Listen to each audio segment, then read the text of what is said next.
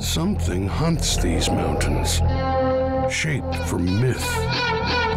Formed by the spirit of the mountain man, he lives by the way he hunts.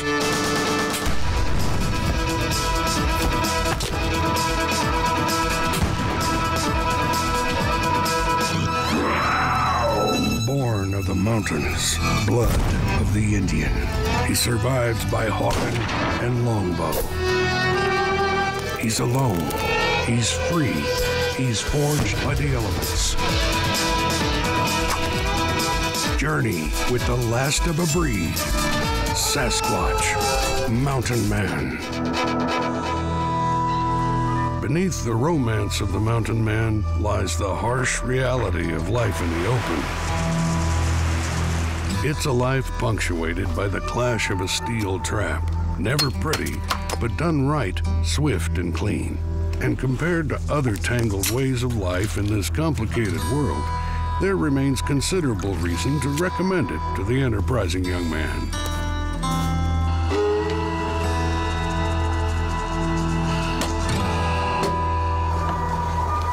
For winter provisions for the mountain man, there was nothing better than elk.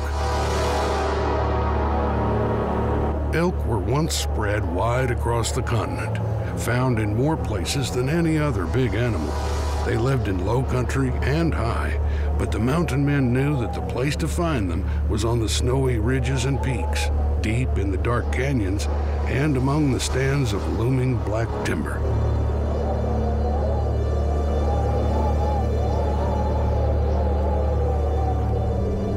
Elk country has a perilous secret, though, one that it shrouds in white. It's a secret it keeps until it knows you've come too far. Then, like a trap, it closes on you, holding you in its freezing jaws. And it's up to you to find a way to survive its grip.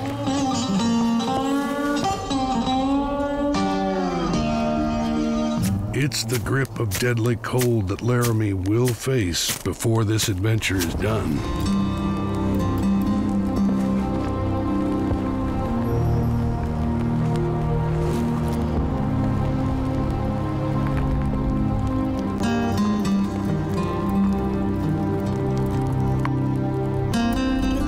Laramy is not the first to confront the icy bite of weather and have to resort to drastic measures to come out alive. For the mountain men, the shadow of death from cold and snow fell remorselessly across their trails as they made their way through the bitterest seasons of the year. The packs on the horses of Zenas Leonard and his compatriots were laden with a fortune of prime pelts when a pitiless blizzard fell upon them. Days of relentless snowfall brought progress to a halt as deep drifts choked off the passes and buried the trails. The party was forced to roast their treasure of beaver hides for sustenance. Finally, with nothing left for their pack horses to carry, and with the prospect of death by starvation staring them in the face, there appeared only one heart wrenching judgment. Laramy knows the treachery that can lie in this peaceful, beautiful elk country, but can he survive it?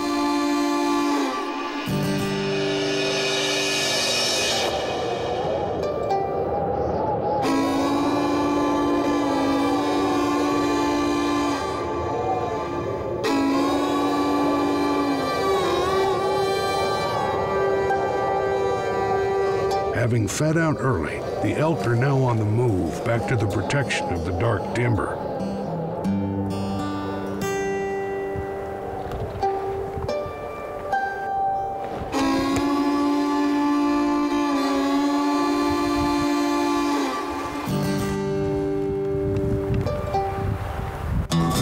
It's late in the season for bugling, but not for other ways of calling.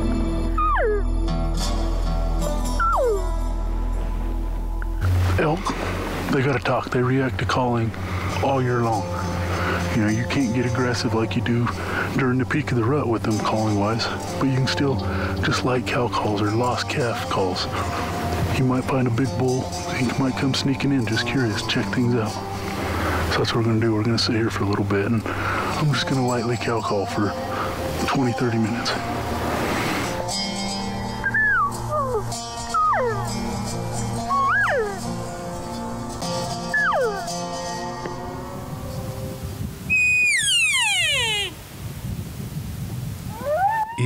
This late in the season, the cow calls bring a response that shatters the forest silence.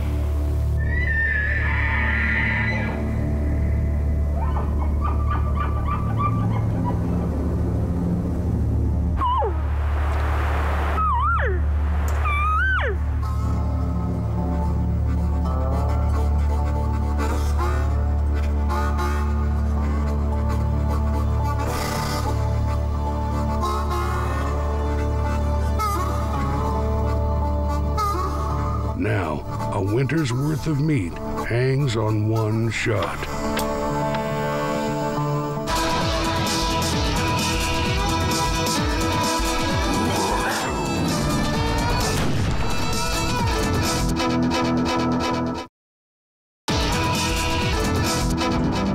Above the mountains gather threatening snow clouds, and across the peaks, Laramy hunts the elk he needs for his winter provisions.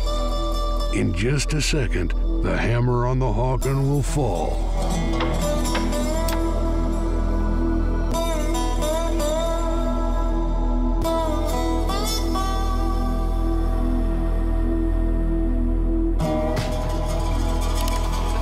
The hammer falls, and disaster too. In his mind, Laramy considers all that could have gone wrong. But it doesn't matter.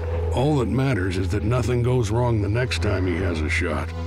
Or, like some before him, he may be left without winter meat, or with a cruel choice.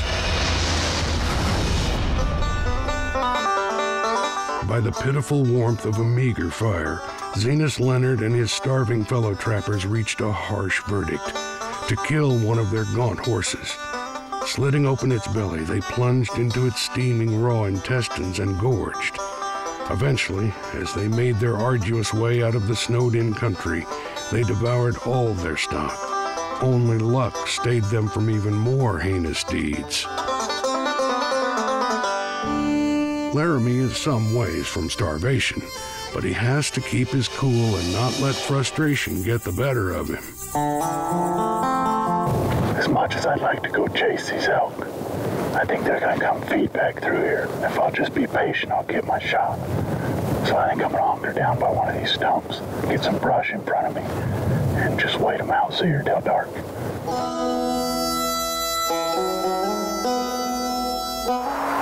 warmed up quite a bit today. It's been real cool in the teens. All day today it was 38, 40, 45. It tells me one thing, that there's a front coming in. More than likely probably gonna have snow in the morning.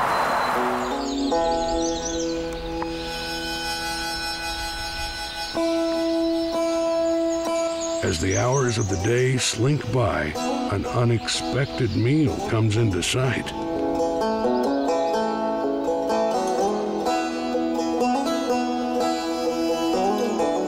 Fox has been called unedible, but Laramy knows better. You add a little this, a little that, and a prodigious pinch of hunger. Well, I already got some potatoes and found some wild onions. And now I'm putting some fox meat in here. Gotta add that protein somehow.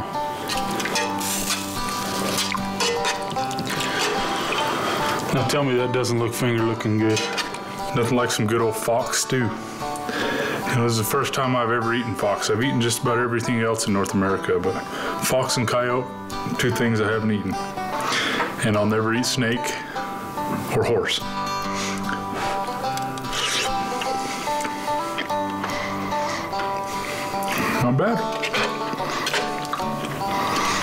Believe you could survive off it.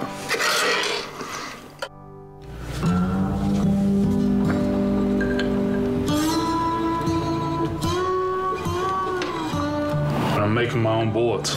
I melted my own lead, casting it, the whole works. I'm self-sustaining.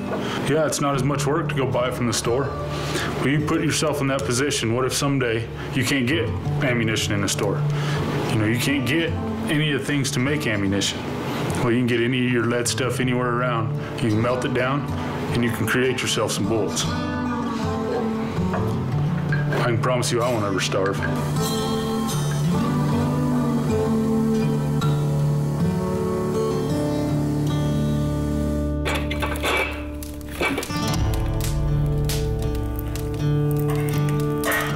You know what I'm doing here is I've got this deer hide and I've already salted it a couple times and stored it. That way it gets all the moisture out of the hide. What I'm doing now is I'm gonna finish fleshing the whole thing. There's still little pieces of flesh here and there that I didn't get off the first time. And I'm gonna get all this salt off and finish fleshing it real good. And then it will be ready to go in some water and soak, you know, to help seal them follicles of hair into that hide. And then uh, I'll either wind up making a vest or more than likely I'll make some stalkers out of it. But it's a very time consuming project. I might be able to wear this next year. But it'll be that same deal to where it's something that I have made and I know exactly where it came from and it makes me feel a lot better about what I wear when I know that my hands made it.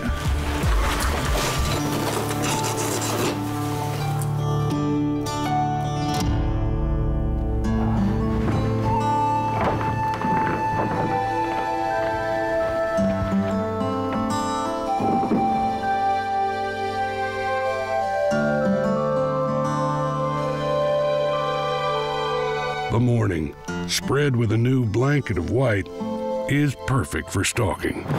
Last night it felt like snow. The front came in, it warmed up for just a little bit. We got a nice little dusting. It'll help a lot for visibility, so hopefully this morning can be a good morning.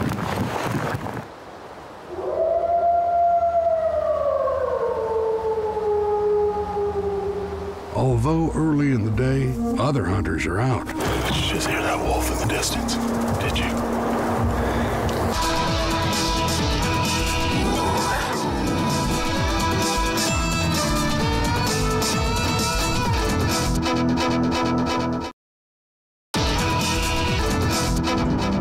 It's a beauty to be judged warily.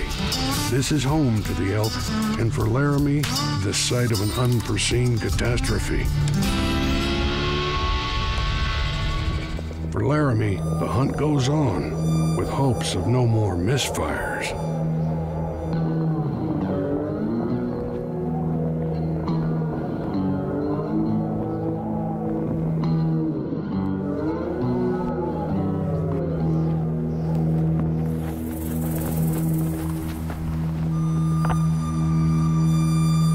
There the elk are, on the move into the timber. Just spotted some elk over here clear across the canyon.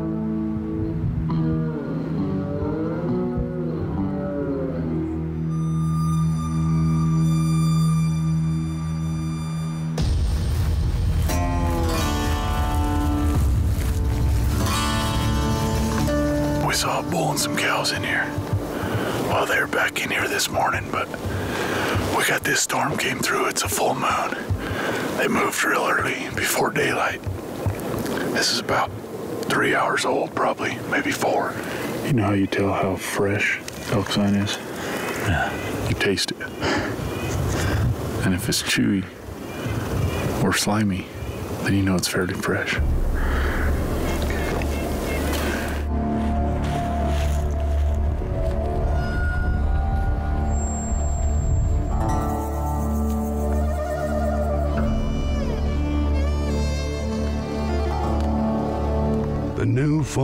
White snow is like the page of a journal on which the elk are writing a record for Laramy to read.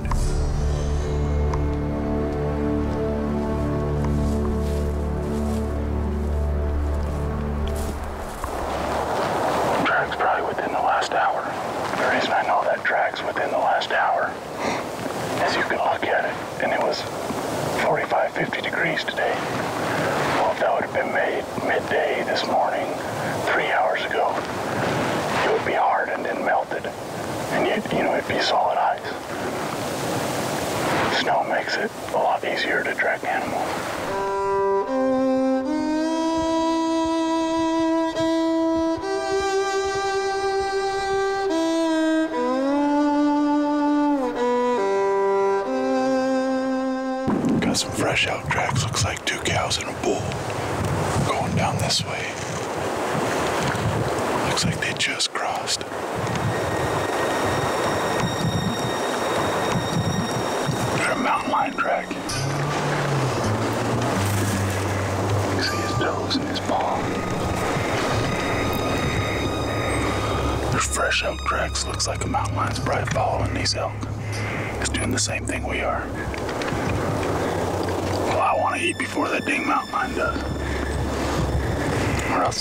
the might be dinner.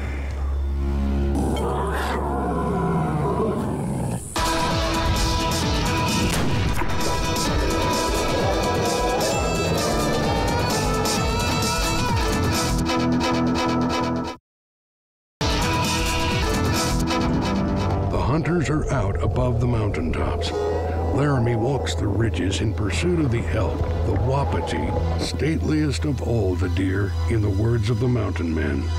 And now it's a race between Laramy and a hunter who treads on four-clawed paws. Well, there's a herd of elk clear across the canyon. Looks like I can, I can see for sure one bull in the herd. It's about 10 o'clock, probably 9.30. I think what I'm gonna do is I'm gonna try to circle around this canyon. It'll be about two, three mile hike, but I circle around this canyon and come in above them. And that way I can crawl down. They're kind of in the timber, so I should be able to get somewhat close to them.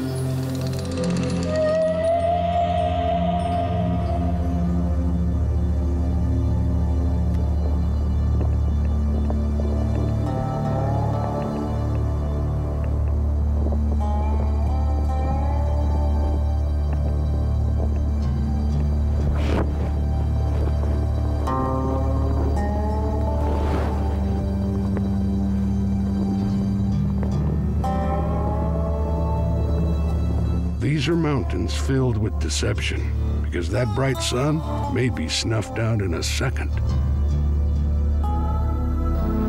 Air, once warm, begins to be filled with drifting flakes of white. Flakes go from drifting to falling, and as the freezing white jaws close, it's time to make shelter to survive the night. If you know the traditional ways, as Sasquatch does, there's plenty here to build not only what's required for survival, but for true comfort.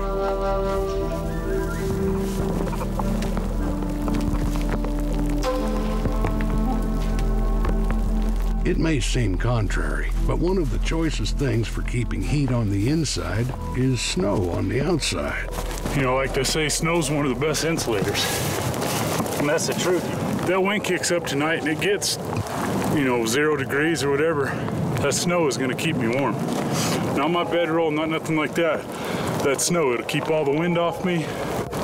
It'll be perfect. I'll be like sleeping in the Hilton Hotel or something. But no mint on the pillow, and this is what Laramy will have instead of a thermostat on the wall.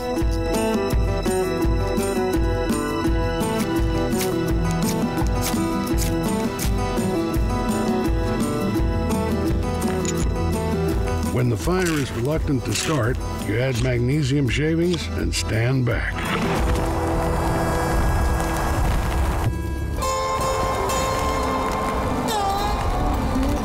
Fire, shelter, survival, yes. But as important is the sense of self reliance that's earned.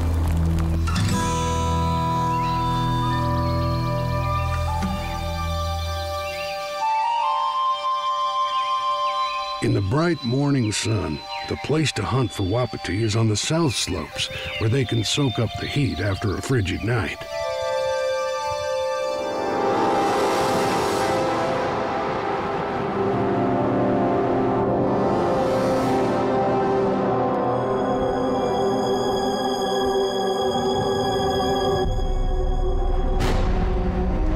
This is one shot Laramy is taking no chances on.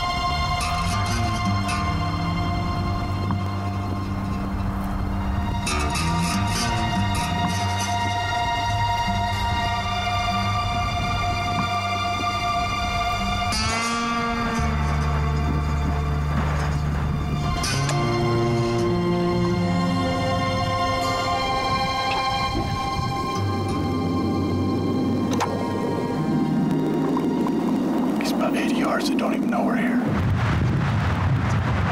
I'm gonna whistle and hopefully he'll stand up.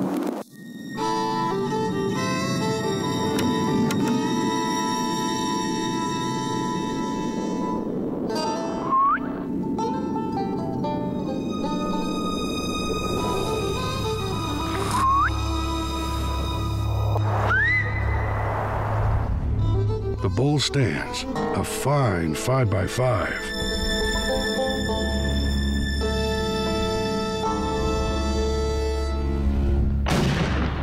Is no question on this shot.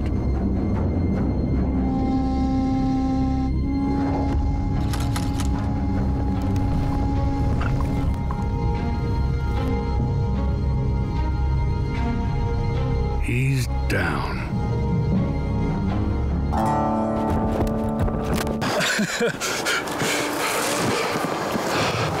Tell you what, Ryan tickled to death, and he is to eat wonderful. He's to feed the Sasquatch family, that's for sure. Well, it's been one of those hunts. We've uh, been at it for quite a few days now. Then we got all the snow and the weather, and got the elk up and moving, and we had to work a little bit for this guy, but it finally all panned out.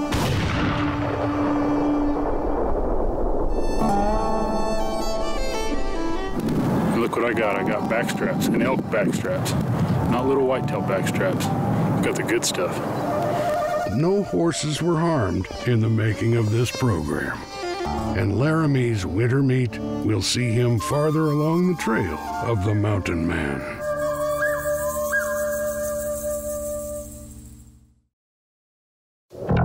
Something hunts these mountains, shaped from myth.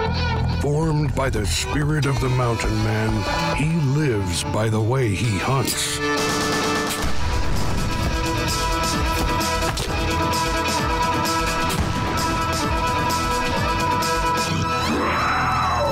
Born of the mountains, blood of the Indian, he survives by Hawken and longbow. He's alone. He's free. He's forged by the elements.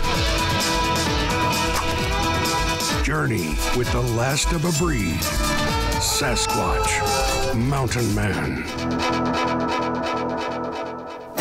Black lines on parchment only hint at the adventure Laramy Sasquatch Miller seeks. To some, these are mountains, but for others, they are the bare backbone of a wild continent through which life's spark flows. And Laramy Miller's quest has been to make his way here, traveling and hunting as the mountain men of another century did. His gear may not be foolproof, as when his Hawken rifle misfires. But that's part of the bargain he's made with the game and the land. Trading cold efficiency for challenge.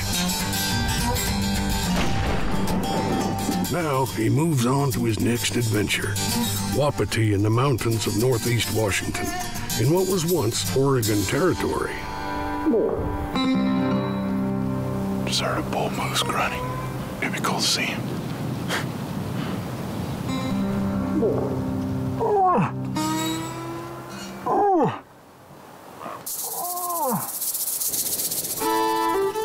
Laramy is on a hunt for elk, but the first big game he finds is a young bull moose. It seems that Laramy and the bull moose have been vying for the attentions of the same cow with their calling, and Laramy may have won, perhaps to his regret. These killer moose can be dangerous. Without question, moose injure far more people every year than bears do.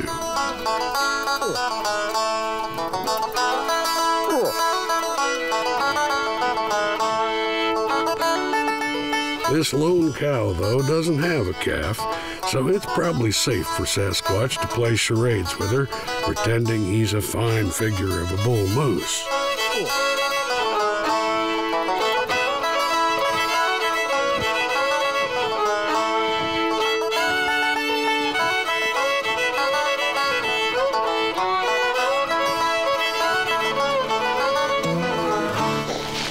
I was just playing with her. You know, the big bulls will get to waddling past the rut a little bit, but you never know. She wasn't too spooked, so it's all fun.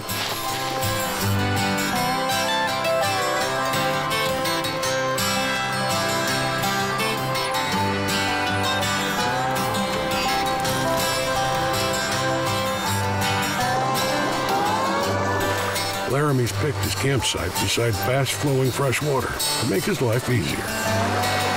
And it's not just Laramy that values water. It's vital to the elk who will come here to drink and wallow, increasing Laramy's chances of finding them along here. These damp woods, though, make it difficult to find dry bark for tinder to build a fire. The best choices are spruce or cedar bark, which will dry quickly. Laramy knows enough to build a compact teepee fire, reminded by the old saying that the Indian makes a small fire and sits close to stay warm, while the white man makes a big fire and stays warm collecting wood. You know, I usually hunt in nothing but stuff that me or my grandpa have made. But in a lot of these states, because I'm carrying a black powder rifle, you have to wear orange during that season. Puts a hiccup in my game, but that's what the law says, and that's what I'm gonna do.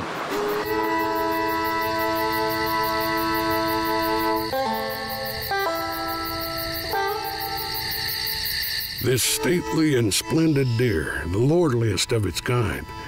Those the words of Theodore Roosevelt about the elk. Okay, we're here in uh, Eastern Washington. Most people don't think about Eastern Washington when you, you think about elk hunting, but they've got a good population of Roosevelt's in the west, and Eastern's got a good population of Rocky Mountain elk.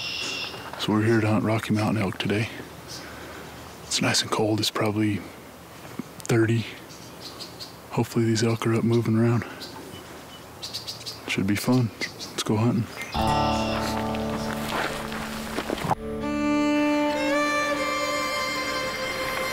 These blowdowns, mossy giants scattered like matchsticks over the mountainside, a chore for even Sasquatch to hike across, but hardly noticed by the elk who clear them in one bound.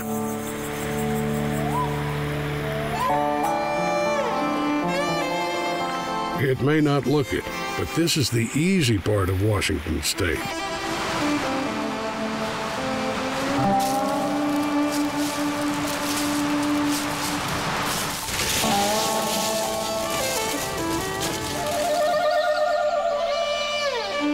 Washington is known to have thick, dense forests. But here in eastern Washington, you don't have the big undergrowth like you do in western Washington. But as you can see, you look up through there, it's still thicker than heck. So it's either going to be a real close shot, or it's probably going to be too far for the old Hawken. We're going to have to get up close and personal.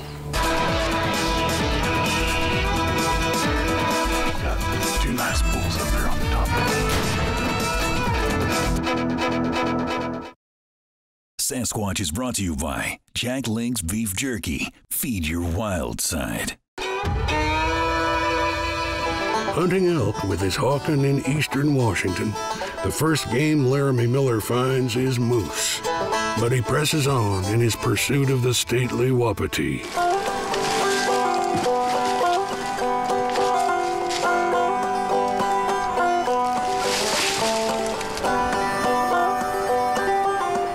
The heavy growth of timber, he does see deer.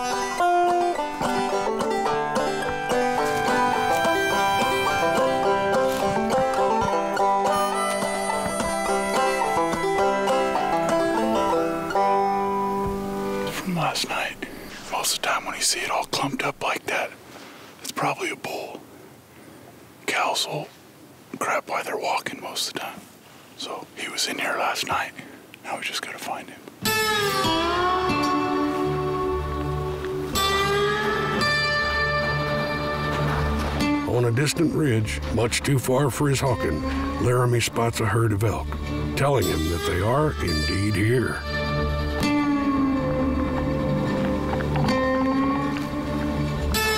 Carrying a blued steel muzzleloader requires the constant care of the hunter.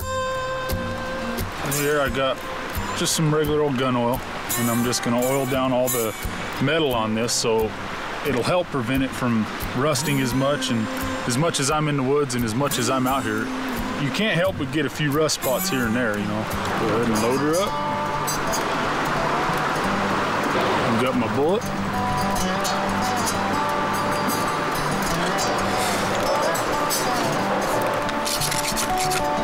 You want to make sure it's seated real good because it's, it's a big uh-oh if you've got airspace in between your powder and your bullet. It can be a big hiccup. Now I'm ready to go kill me an elk. All I need is put a cap in there. I'm ready to go.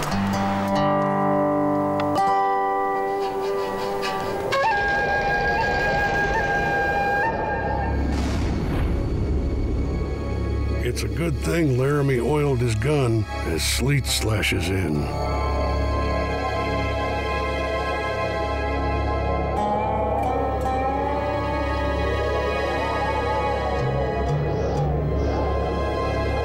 From the coast and the cold from the north meet up in these mountains.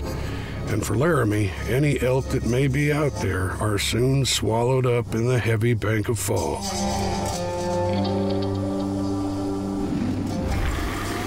I like it tough, but this makes it really tough. Now, rain comes in to make matters worse.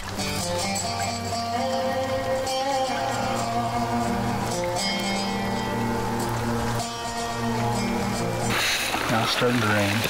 We have lots of fog. I think I'd rather it be snowing than this crap. Got two nice bulls.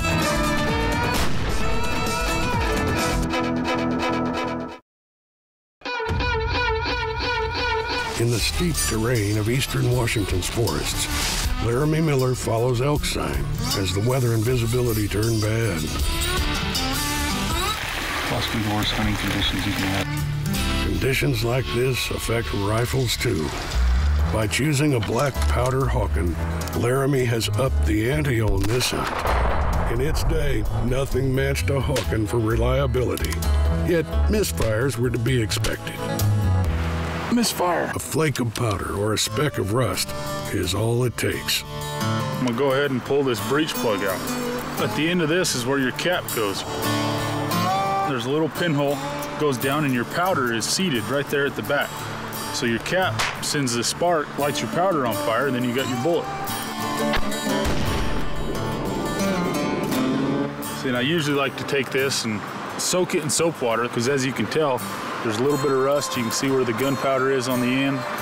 You know, you want to make sure that's all as clean as you can. Say your powder gets wet or your gun's not clean properly, say that little hole right there gets clogged up. You pull the trigger and all it's gonna go is pop. It's gonna be like a cap gun. It goes pop. You think he's gonna stand there and look around, see what happened? A misfire might cost you an animal, but it could cost you your life. Laramy Miller has experienced the crucible of a misfire on old Ephraim the grizzly. Only the bear's momentary confusion grants Laramy's suddenly clumsy fingers time to find one new percussion cap.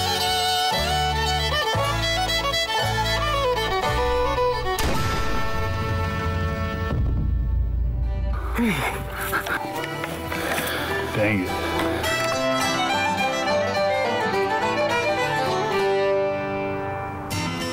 It's the thought of past misfires that haunts Laramy on this hunt for elk.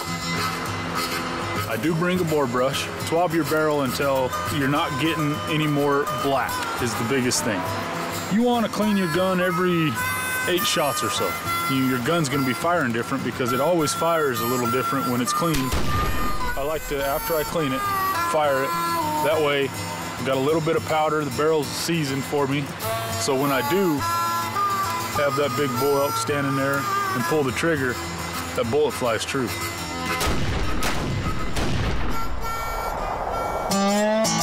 Before the days of the Hawken, facing Mr. Grizzly was even more perilous. Only mountain dweller mightier than Sasquatch is the grizzly. Many found the tales of the bear's cunning, ferocity, and resilience to be outlandish until they met him. Lewis and Clark, with six of their expedition's best hunters, had the misfortune of surprising an enormous boar along a riverbank. from 40 yards, four hunters fired their rifle balls, striking home. But the bear, foaming frothy blood from pierced lungs, charged on through the smoke of the flintlocks. Swinging long clawed paws like war hammers, the grizzly scattered the eight men, frantically trying to stuff powder and ball into their empty rifles. Three more shots found the bear, but seemingly without effect. Two of the hunters ran to the edge of a tall bluff above the river. The grizzly, in enraged pursuit, and leaped onto the shallow water 20 feet below. Without breaking stride, old Ephraim dived after them, determined to exact a price for his wounds. Shooting down from the bluff, another of the hunters crashed a ball. The eight fired into the bear into its skull, ending the terrifying pitched battle along the banks of the river.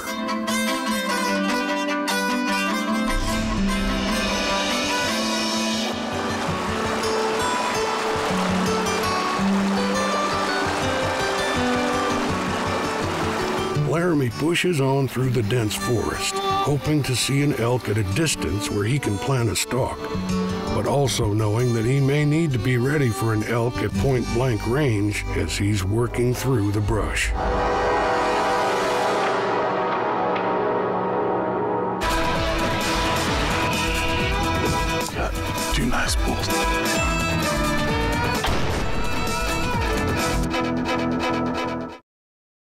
Sasquatch is brought to you by Jack Link's Beef Jerky. Feed your wild side.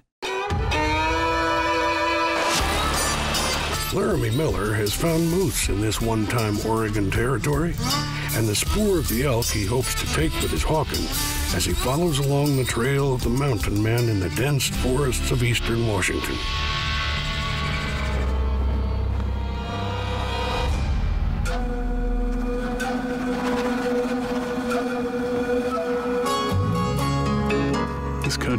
Eastern Washington is so thick. I mean, you can't see 10, 20 yards.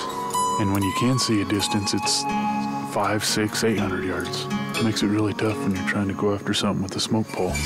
Ideally, I want to be 100 yards or closer, closer preferably. But the only thing I can think is get up as high as we can and get to where it opens up a little bit at tree line or head down the mountain a little bit to where it opens up so that we can still hunt and actually have an opportunity because in this stuff it's so loud and so thick that them animals and they can hear and smell and see you way before you can hear smell see them walking through this thick stuff. So we gotta evaluate our game plan and change it a little bit. Laramy's plan leads him to the higher country, where he can scan the horizon as he searches for elk and see the changing of the seasons unfurling below him. The yellow and red colors of fall spreading through the forest leaves like the embers of a coal fire.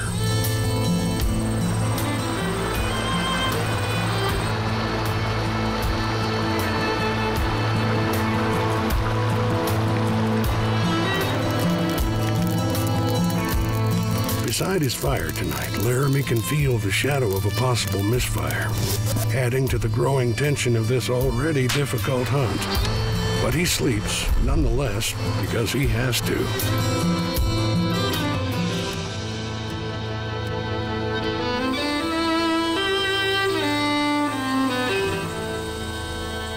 Sasquatch's dreams are his own, but maybe the dream of this hunt is about to come true.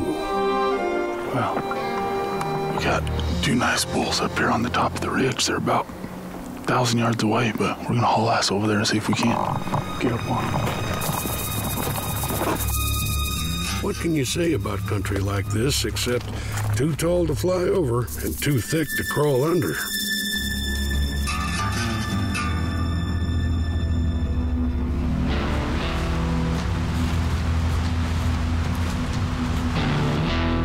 Draws as close as he can, but even so, it's still a considerable shot for the Hawken 54.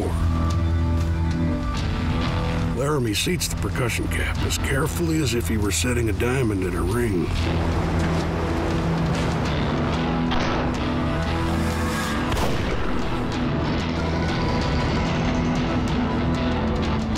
Two hundred yards, and the bull elk didn't hump up and isn't dragging a leg. Now, Sasquatch must go and hunt for blood. I think I hit him. That was a far shot for the muzzleloader, but I think I hit him. Let's go check.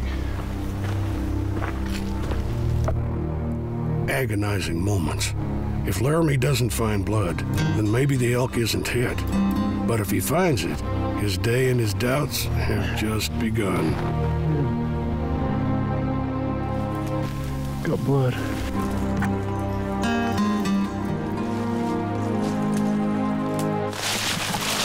These are some big, tough animals. I smacked him with the 54.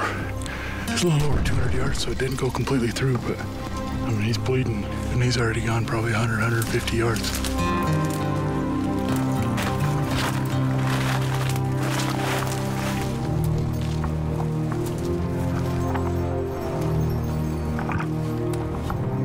How in the did he run through here and not get blood all over the place?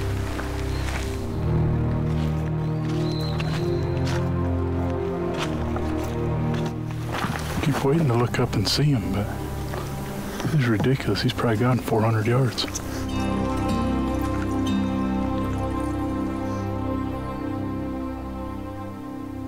You know, I love elk hunting more than anything, but this right here is what really kills me is I shot this bull. He was probably a little out of range. I've made that shot many times. I hit him, but after looking at it, I don't think I hit any vitals, but I drew blood. Once I draw blood, I'm done. That's the way it is. That was a dang nice bull. I'm gonna keep looking for him and hopefully I can find him, but if I don't, it was a great hunt, but I'll have many sleepless nights thinking about it.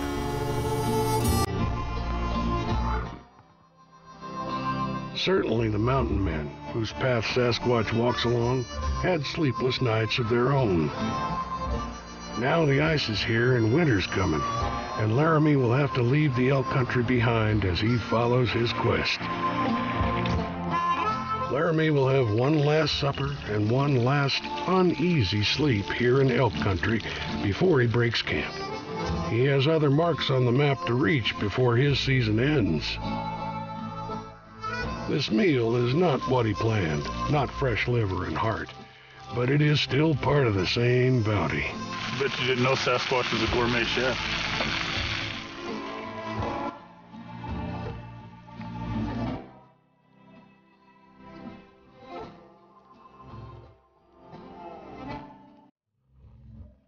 Tonight, Laramy will lie by his fire, and if the sky clears, he may see the star to point him in his next direction.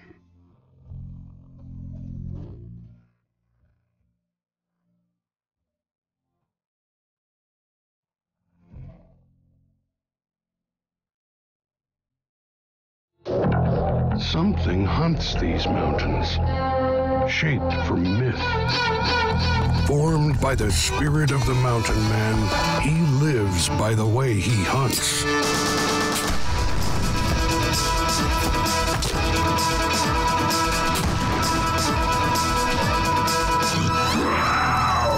Born of the mountains, blood of the Indian, he survives by Hawken and longbow. He's alone. He's free. He's forged by the elements. Journey with the last of a breed. Sasquatch, Mountain Man. There's always a hunter's moon in the sky above the wild lands where Laramy Miller treks. On his odyssey through the realm of his mountain men forebearers, Laramy has survived on powder smoke. The mightiest game of these territories has been his goal, testing a lifetime of skills and undaunted resolve. No more so than when face to face with the most powerful monarch of these mountains. Misfire. And now hell could be coming to breakfast. A small cap of copper and mercury is all that stands between Sasquatch eating or being eaten.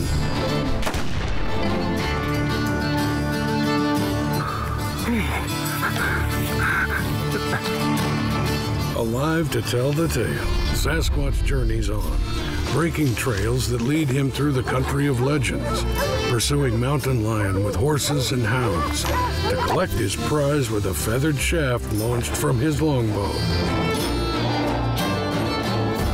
Weather and White Death stalk Laramy in the northern reaches of the Louisiana Purchase as he stalks the stately elk, known to the Shawnee as Wapiti, the white-rumped one.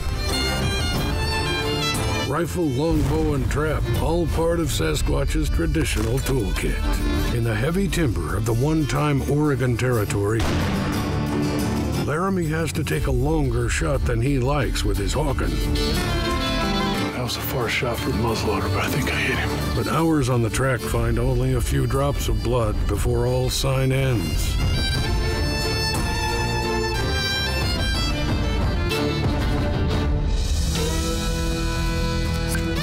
It's a new game, a new camp, and new chores. That pot's got to get over 400, 450 degrees in order for that lead to melt.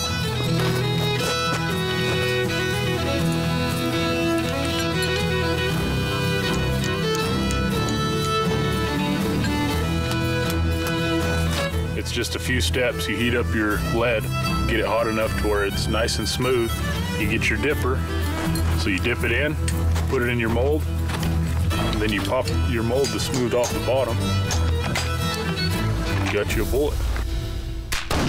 The best bullets are made from lead type, so maybe the pen is mightier than the sword. Laramy Miller has come to whitetail country, following trails pointing northeast to the territory of the deer. The fall is progressing, and the gray skies and rains are continual, the downpour turning the bark of the trees black. Deer, too, are showing the restlessness of the season. Saw this nice three and a half year old eight point. He was standing on the edge of this. We saw him from up top up here. We hurried up, all down. Been about 100, 150 yard shot from this point. Got here and he pulled a Houdini. Even with the rain, the forest floor is noisy, making Laramy have to measure every footfall. Wayne got the switch and it's blowing that way. Some dog standing right here. She smelled this.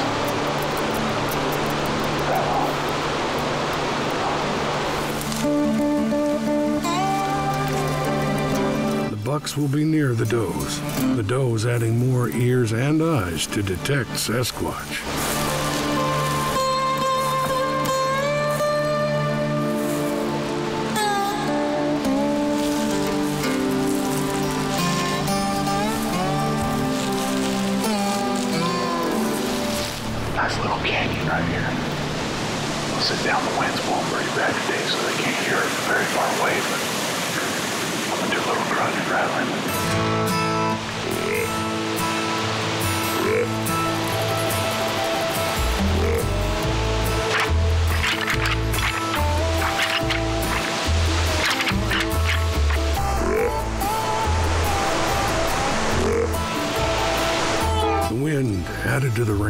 Muffles the sound of the rattling and grunting, so Laramy can only wait and hope.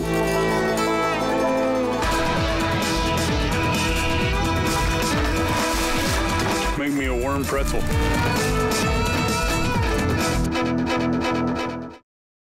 Sasquatch is brought to you by Honda Power Sports. For great deals on gifts that go, it's go time at your Honda dealer. Laramy Sasquatch Miller has ventured into whitetail country. From the far west of the Oregon Territory, he has taken the trails heading northeast. And now, in wind and rain, he hopes to call a buck into Hawken Range.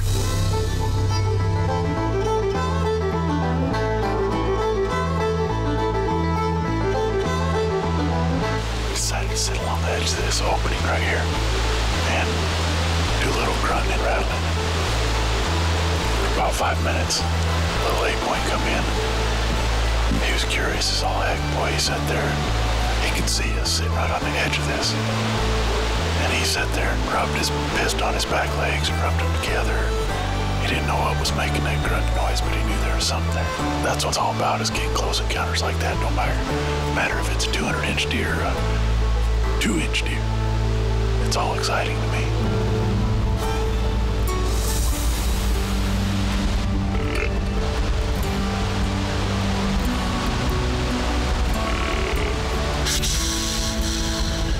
For the old mountain men whose survival hung on venison, a deer like this would have fallen already. But for a man called Sasquatch, there's also the consideration of ethics, which tells him that this buck has more years ahead of it to reach its full potential and full maturity. He kept turning his head and back real fast. It's trying to get us to move. For some mountain men, being unable to move was the greatest threat. Mountain man Raphael Carafel has found a frozen hell. Snow falls heavy on the trail, and Carafel's way is blocked by drifts. He pushes forward as far as his strength carries him, then burrows into the snow like an animal. Snow falls eight days, and Carafel sees no game. Now his feet are frozen. He beats on them with his rifle butt and forces himself to stagger ahead for hours, but can only make two miles.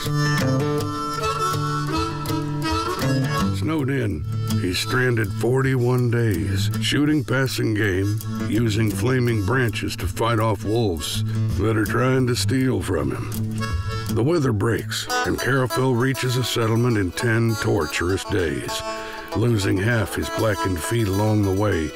His only food, a drowned buffalo calf pulled from a river.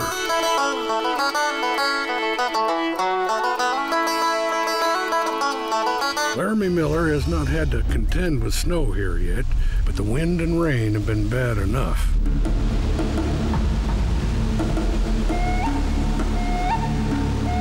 Deer are plentiful, but Laramy still has to keep to his ethical standards.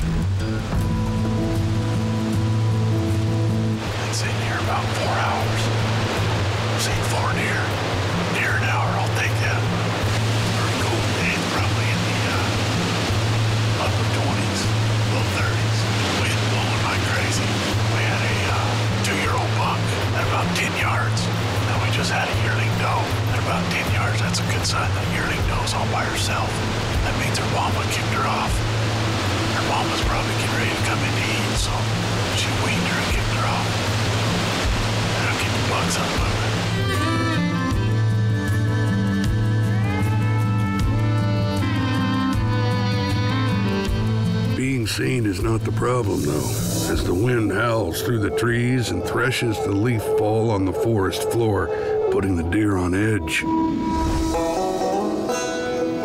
With darkness, the wind dies and camp beckons.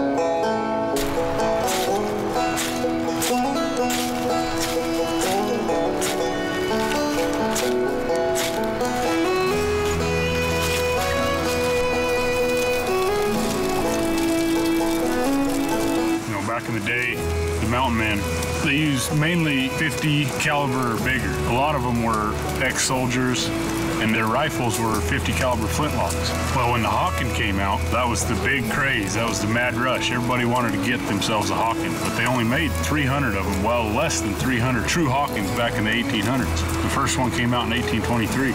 But the reason the Hawken was such a crave is because your other rifles had anywhere from 40 to 46 inch barrels on them. Well, when they brought the Hawken out, it had 30, 32, 34 inch barrels on it. A lot easier to aim. I mean, you imagine aiming a four foot barrel. That's not counting the gun. You got a gun that's six foot long. You're not going to be that accurate. Riding on a horse through all the brush up here in the mountains, they needed that shorter rifle. Plus, it helped them with distance. You know, they could shoot out to 300 yards in. Not real accurate, but at 300 yards, they could kill an elk. They could kill a buffalo with a Hawken. Instead of having that old 50 caliber flintlock where you never knew if the thing was going to go off.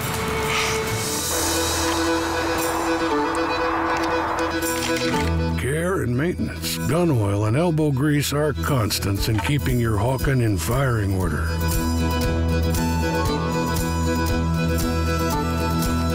It's the same care Laramy shows with his trap sets. You know, in a set like this, what you're mainly going for is bobcat, pine marten, raccoon, you know, any of your smaller predators that are after meat.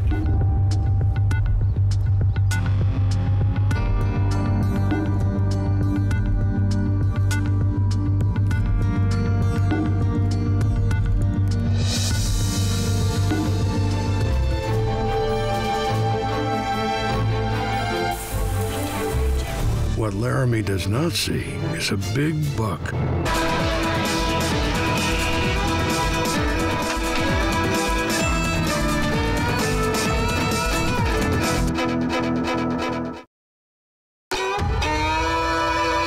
Autumn in whitetail country, and as Laramy walks softly on the leaf falls, the wind and rain lashes through the timber. To add to his chances of finding food, he sets his traps in the trees.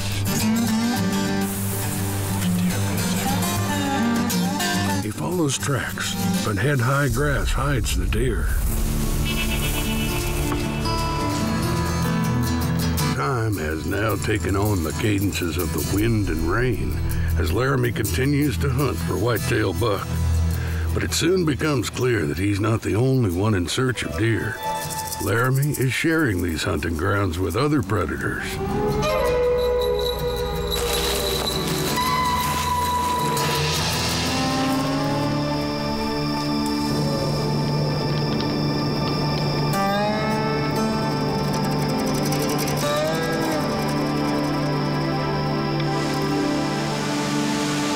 The wind continues to blow, it makes the hunting only harder. It swirls the scents, and just its noise turns the deer skittish and afraid to move, especially with wolves in the country. Way the wind's blowing today, I don't think them deer are gonna come out in this meadow. A lot of wolves around here, so the deer are pretty skittish. They're not gonna come out into this open because everything moves when they come out here. They're gonna stay in the thick stuff, so makes our job a little tougher.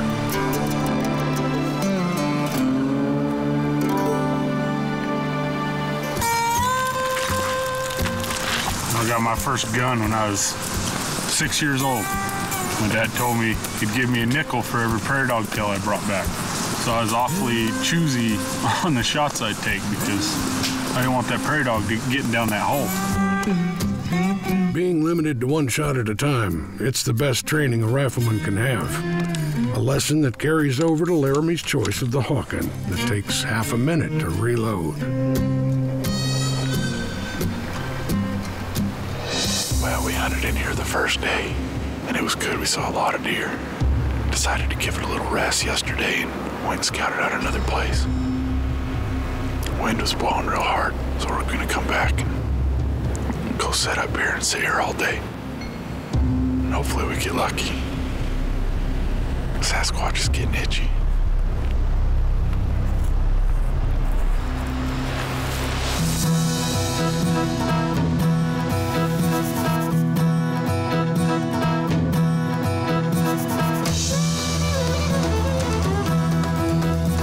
With the wind and the rain, will this be a buck that Laramy is going to be willing to take? Pretzel.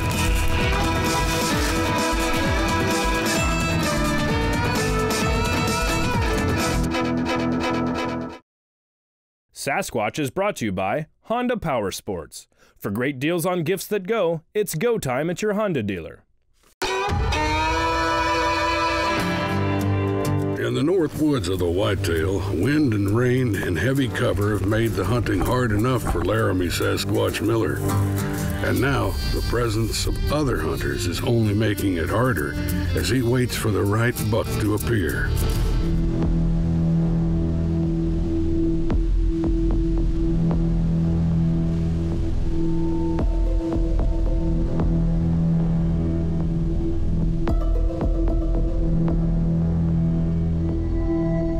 Ethics of Laramy's way, the Sasquatch way, mean only natural clothes and blinds, no tree stands or shooting houses. And you only have to look to see the proof of how the Sasquatch way works.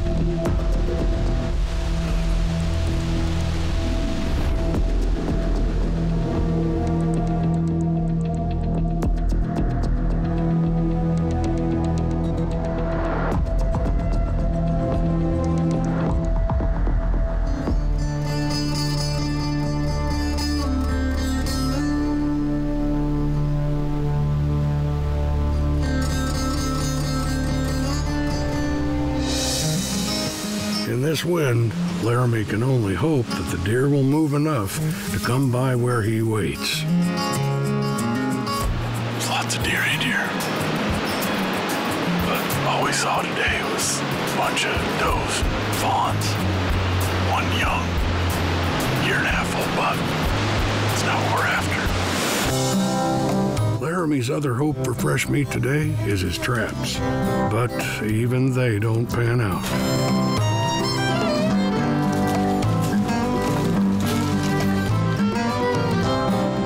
No deer and empty traps, Laramy has only one solution for supper. Look what I found. A cute little friend. I'm gonna fry this baby up. Make me a worm pretzel.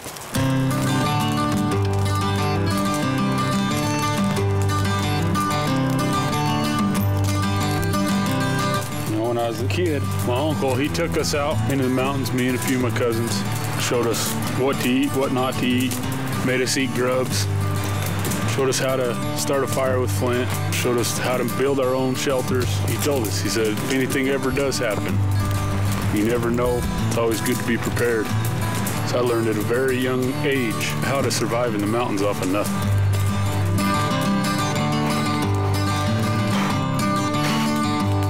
It's a worm pretzel. Mmm, juicy.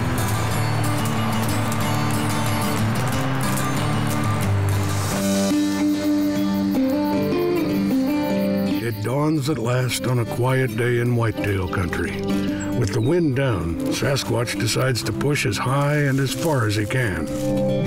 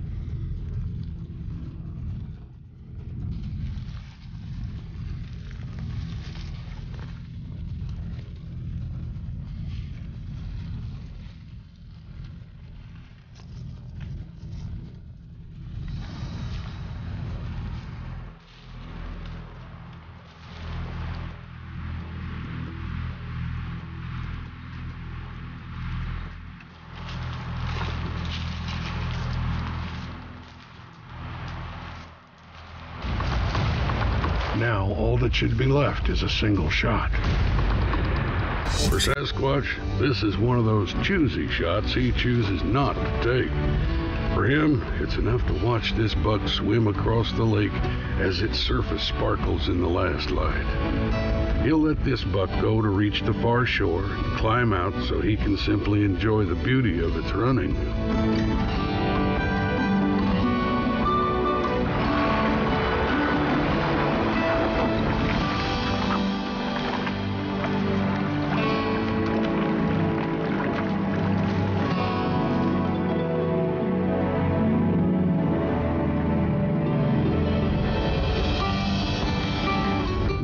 Whitetail will make its way into some new part of the woods, and while it does, Laramy Sasquatch Miller will find his way back to his camp.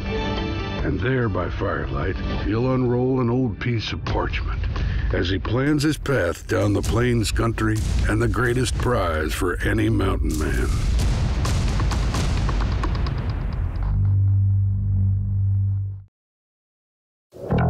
Something hunts these mountains, shaped from myth. Formed by the spirit of the mountain man, he lives by the way he hunts.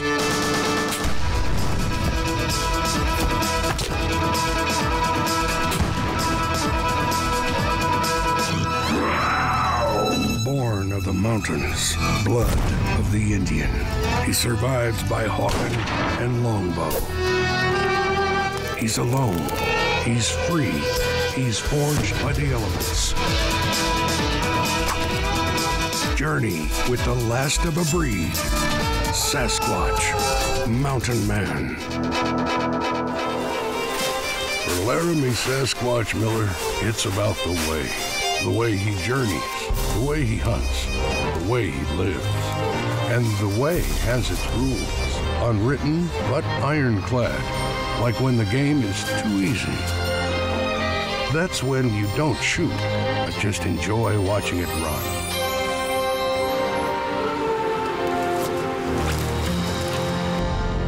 From the Whitetail Woods, Sasquatch now ventures onto the prairie in search of the grandest prize of the mountain man.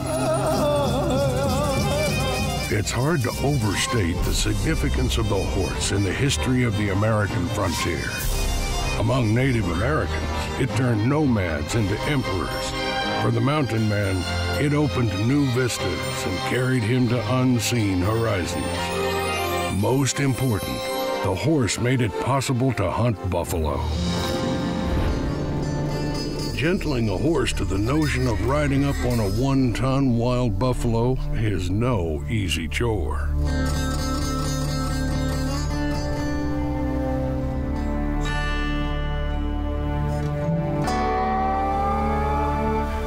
Buffalo hide, I'm going to use it in case it gets cold, but also just in case I can't get close enough to them buffalo or the weather turns bad and I can't ride my horse up next to them, I'm going to use it to try to stalk in close on them. You know, this horse, he's never had any kind of wild animal draped over his back. It's going to take some doing, but I'll get him used to it. When it comes to horses, you can't help but think of your betters, especially by firelight. You know, back in the day when the Indians were chasing the buffalo off the horses, they'd make themselves custom bows. They'd shorten them up to about three foot long so that they could shoot off the back of a horse. I don't know if anybody's ever tried to shoot off the back of a horse with a bow, but I have. And it's very interesting, especially if you've got a normal sized, you know, traditional longbow. You know, the Indians were amazing athletes. To be able to sit on the back of a horse with uh, no saddle, you're sitting there bareback, leaning side to side the way they did, you know, shooting off them, that's some horsemanship. For the U.S. troops who fought the Plains Indians in the 1800s, there was never any question of their foes' prowess. The finest light cavalry ever to ride horses, it was said, by those who engaged them in battle. None finer since the days of the Mongol hordes.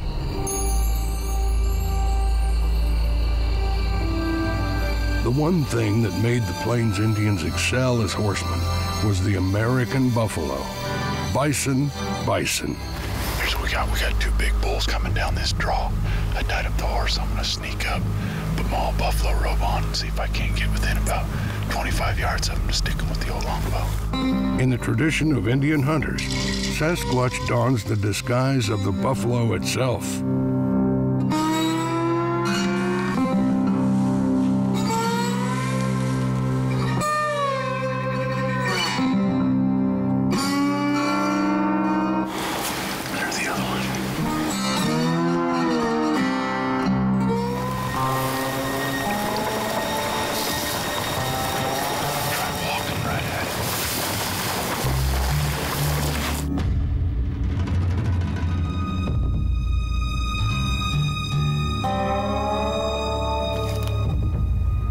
There's nothing meek or mild or dull-witted about the buffalo, as Laramy learns when he finds himself being stalked from behind by a cow with bad intent.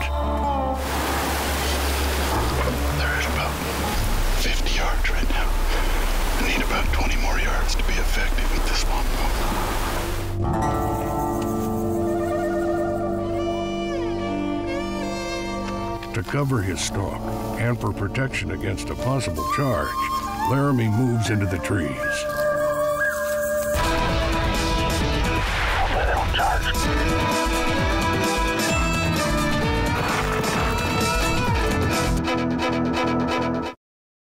Sasquatch is brought to you by Honda Power Sports. For great deals on gifts that go, it's go time at your Honda dealer. From the back of a horse, Laramy surveys the prairie realm of the buffalo. And with his longbow, he stalks beneath a natural disguise.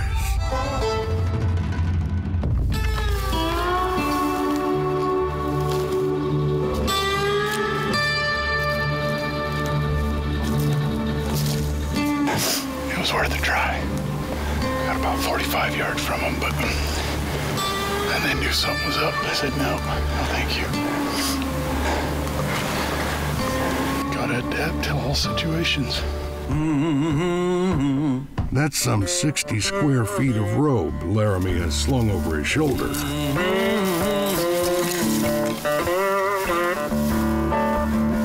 Any of you have ever tried to carry a buffalo hide around?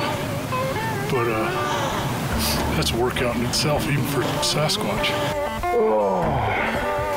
Well, I'm gonna go pick up the horse. This looks like a good place as any to camp. We'll try again in the morning. A lot of people that always talk to me about staying out in the woods, whether it be they're lost or, you know, they're going out camping, they're going out hunting and they get stuck and they got to spend the night out in the woods with essentially nothing. You want to make sure that before dark, you get some firewood rounded up, you find a warm, dry place to stay. But you get wet and all heck's gonna break loose. Hypothermia is gonna set in, and you'll start losing your mind, and who knows, you might be running around naked, and the bear might think you're cute, or who knows what's gonna happen. So you wanna make sure you stay dry. If you ever get lost in the mountains, the one thing you gotta remember is don't ever try to find your way out at night. Because when it gets dark, you can get disoriented really easy, especially when you got big mountains on the side of you and it covers everything up. You can't see any stars. You can get lost very easy. It's the mind that saves. The mountain is merciless to the foolish. Knowing you can make a meal from toasted earthworms can keep you alive.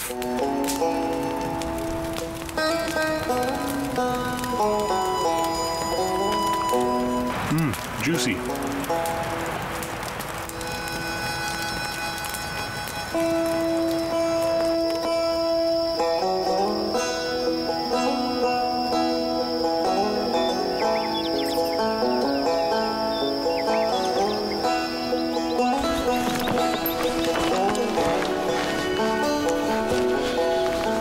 Can't tell you how many times my horse has alerted me to elk or deer or bears or pay attention to your horse because believe it or not, you can teach him some things, but he can teach you a lot of things too about woodsmanship.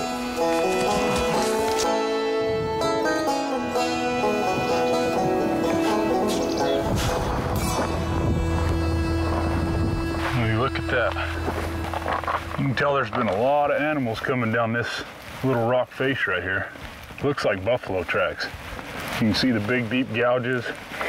I mean, it would take hundreds of thousands, if not millions, of animals coming down this for a period of time to make impressions, even though this is sandstone, to make impressions like this. It's a big plateau up here, so they probably fed up here on top, and it's just a big cliff face.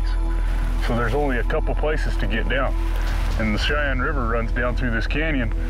So I'm betting that they came up and they could see the water and they turned and one got brave and decided he was just gonna bail off this and they all followed. And it turned into kind of a travel corridor. Buffalo trails, or traces, were the Old West's first highways. Most ran north and south along ancient migration routes, but some went east and west, laying down the immigrant trails and even the routes of the railroads, earning the buffalo the title Sagacious Pathmaker. And the buffalo weren't just valuable surveyors. Like Laramy, illustrious frontier hunter Paul Richardson knows that the bison is a walking commissary supplying every need. Richardson's party has made a good stand, bringing down several mighty bulls. But now, in scorched country, water is a more desperate need than meat. Greenhorns would panic and gallop off after mirages. But for Richardson, water's right here. He slashes open the swollen paunch of a fresh killed buffalo, the warm gut still twisting and crawling. Filling a tin cup with liquid stomach contents, he drains it, showing the satisfaction of a man quaffing vintage wine. The buffalo has much more to keep a man alive, though. Richardson cuts out the heart. He tears into its ventricles with his teeth. The melon sized organ holds two quarts of blood, and Richardson drinks until he must take a breath, his face crimson. Sasquatch may find himself doing the same by the time this hunt is done. No matter where Laramy looks, he finds buffalo sign, even in seemingly impossible places. If you look up there, you can see there's a buffalo print in the side of this rock face. Probably made by somebody, no telling how many years ago. Three, four, five hundred probably, if not longer than that. And you can look, this is a big floodplain. That right there used to be ground level, but now all the water running down this canyon has washed all the dirt out and lowered everything. And so now that hoof is about 20 foot off the ground. There's no telling, it could have been one of them rock crawling buffalo, we don't know. Or maybe the notorious spider bison.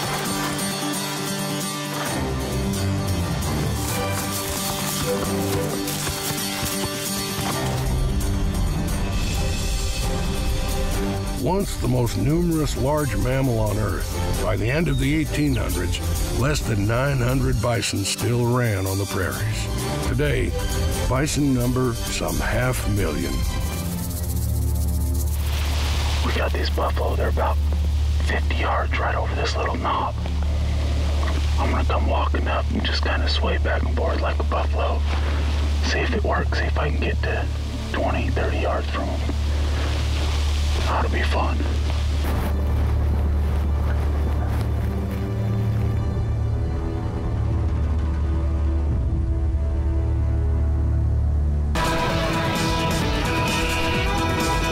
Holy smokes.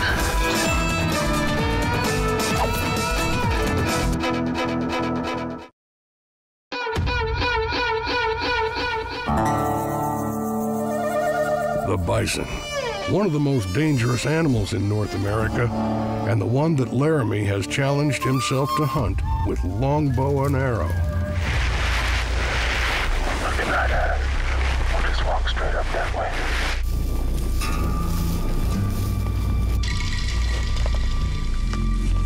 Just can't quite get close enough. They're not sure what I am. Many more people are injured by buffalo than bears. The only real hope of escaping an angry 2,000 pound buffalo charging at 30 miles an hour is to outrun it on a horse. You know, back in the day, mountain men, their life relied on a horse. And the one thing when they're looking for a horse, you know, they're wanting to find a horse that has the right attitude because when you get in tough situations, you might be, you know, in the snow or having to go through a bog. If you don't have a horse that's got that get up and go and will to live, you're in trouble. Because a horse, just like people, they all got different attitudes. And if you got a horse that doesn't want to work and doesn't want to, you know, go after things in the mountains, you're up you know what's creek. A horse is like a vehicle. You got to make sure that you maintain it. You know, you got to change the oil on a car. If you run out of oil or run out of fuel, that car ain't gonna run. Well, it's the same way with the horse. If you're gonna be spending a lot of time in the mountains, make sure one of the most important things is you look at a horse, you look at his hooves. If he's got white hooves, you're gonna have a nightmare because you're constantly gonna be having to reshoe him and stuff like that. If you get a horse that's got dark hooves, his hooves will last three times as long in the mountains. Because the white hoof is a lot softer. And you know, the most tender part of a horse's foot is his frogs. I check my horse every day and make sure there's no rocks stuck in the mud right next to his frog. Because that'll lame a horse up quicker than anything. For Laramy, as for his mountain men forebears and Indian hunters, it's knowing that a horse and rider are one, a perfectly matched team, venturing where they could not or would not alone.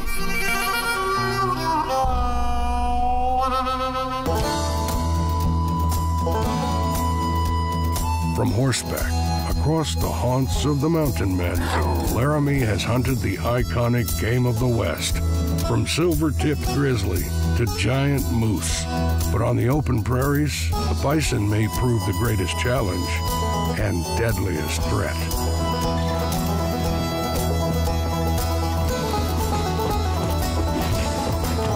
You know, it's amazing to think what our ancestors, the Indians, the mountain men, what they did to survive.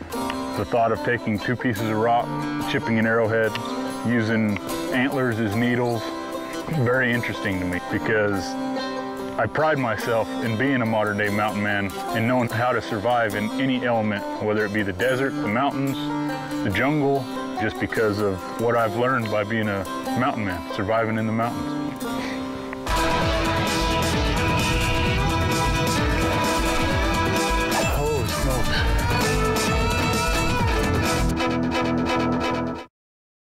Sasquatch is brought to you by Honda Power Sports.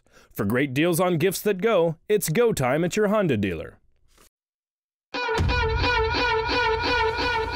Over the plains, wrote one observer, the Indian hunter dashed amongst the buffalo on his wild horse, loosing his deadly shafts. And this is the shadow Laramy Miller follows.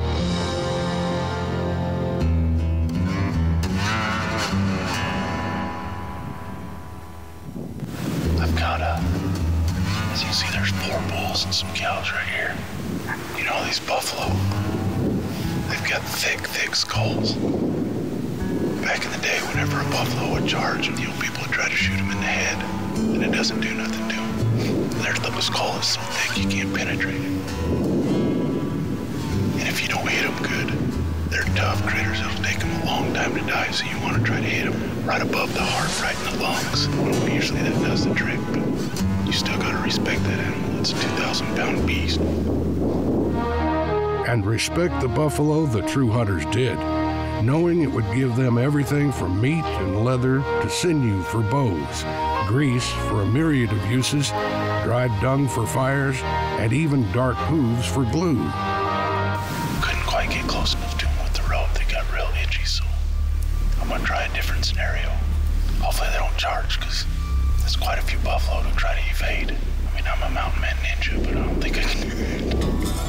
In his buckskin shirt, Laramy is coyote colored and able to approach the herd on all fours.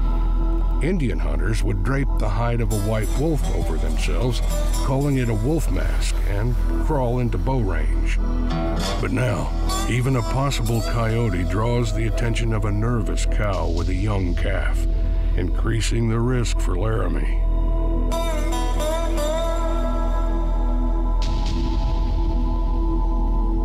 Each yard that takes him closer also narrows any chance for escape. That cow really doesn't like me being here. She thinks I'm a threat to her calves.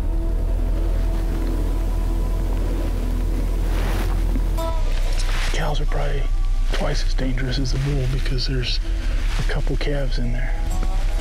So, uh, kind of a tricky situation. With his chosen longbow, though, there's no choice for Laramy but to get close.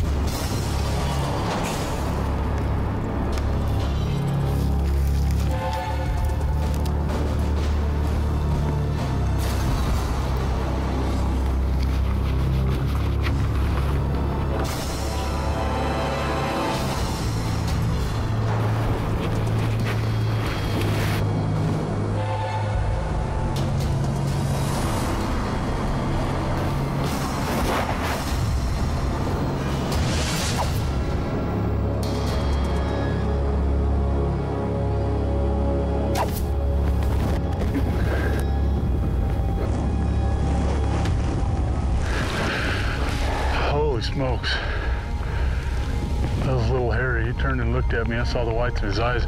You stand up on two feet, and boy, they're out of there. But I crawled, and I just kind of acted like a coyote, just kind of messing around, crawling around. Man, I crawled 25 yards. It was a good shot. I hit him in the lungs, but these suckers have some big lungs, boy. He'll lay down here in a minute. You can tell he's kind of getting woozy a little bit. That hoisted tail on that one buffalo is a sure sign of agitation from the smell of blood on the buffalo Laramy hits. Holy cow. I tell you what, them are some tough critters right there. Look at that thing. You imagine back in the day, them Indians, and they'd probably kill a dozen or more buffalo in one hunt. I feel sorry for them. That's a lot of work. You got 1,800 pounds right here, and they used every single piece.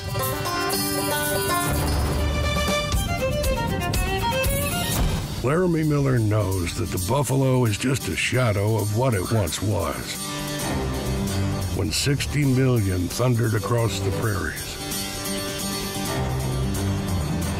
But it is a shadow worth following, a dream worth repeating, a tradition worth keeping.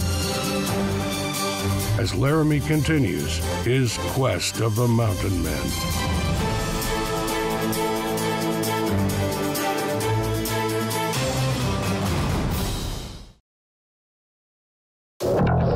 Something hunts these mountains, shaped from myth.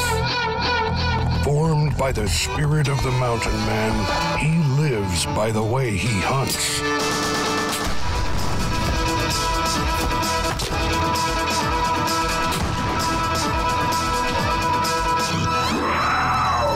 Born of the mountains, blood of the Indian, he survives by Hawken and longbow. He's alone. He's free. He's forged by the elements. Journey with the last of a breed. Sasquatch, Mountain Man.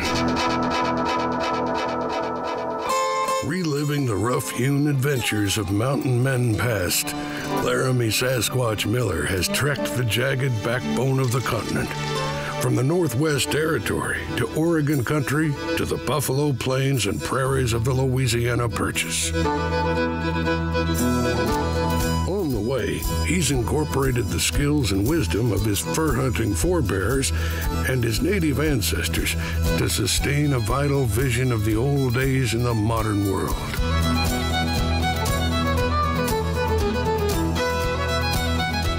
A single feathered shaft, he's brought down the biggest, most revered mammal on the continent.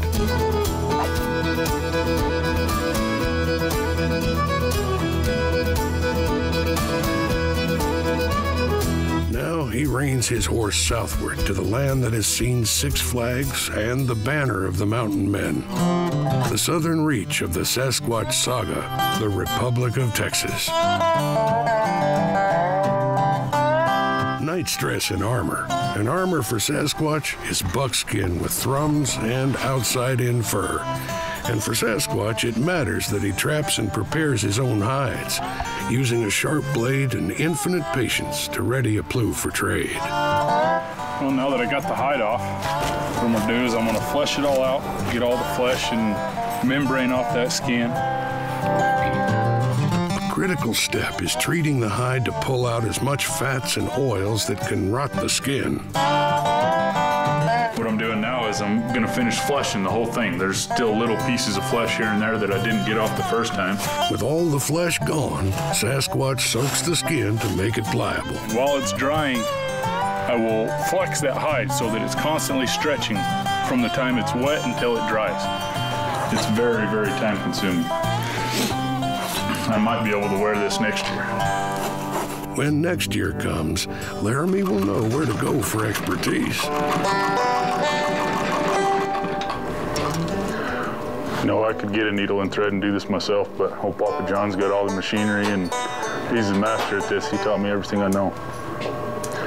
You son of a gun. That's about the truth.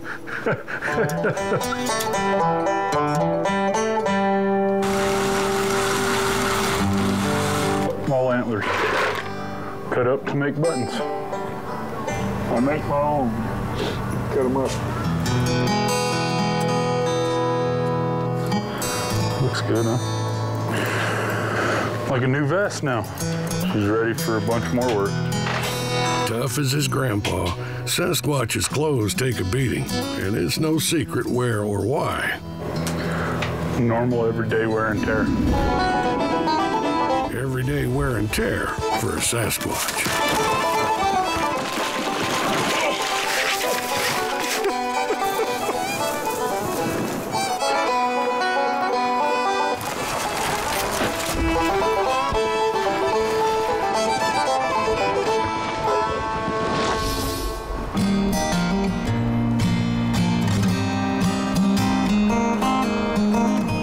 Learned how to do all this stuff from my grandpa.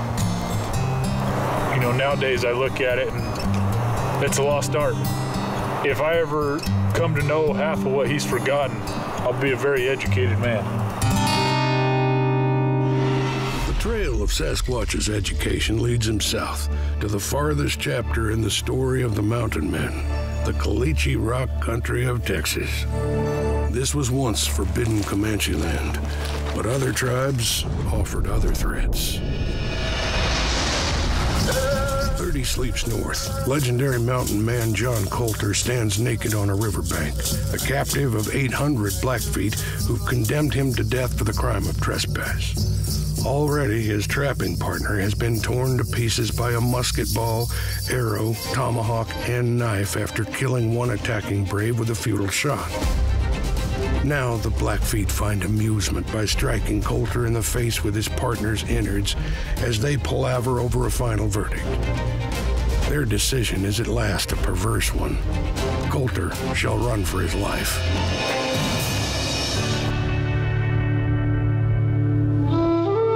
Now here in Texas, Laramy Miller beds down in preparation for his hunt to come for a unique species of wild sheep.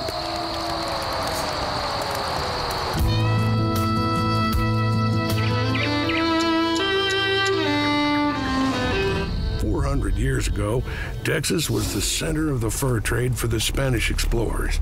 It was the first place any European saw the buffalo, which the Spaniards called cows.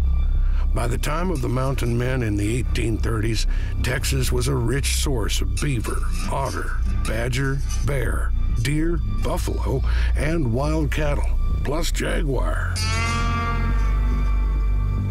The Spaniards found wild sheep here too, but said the country was too rough to hunt. But that's not how Sasquatch sees it. That's pretty cool. We got about at 25 yards.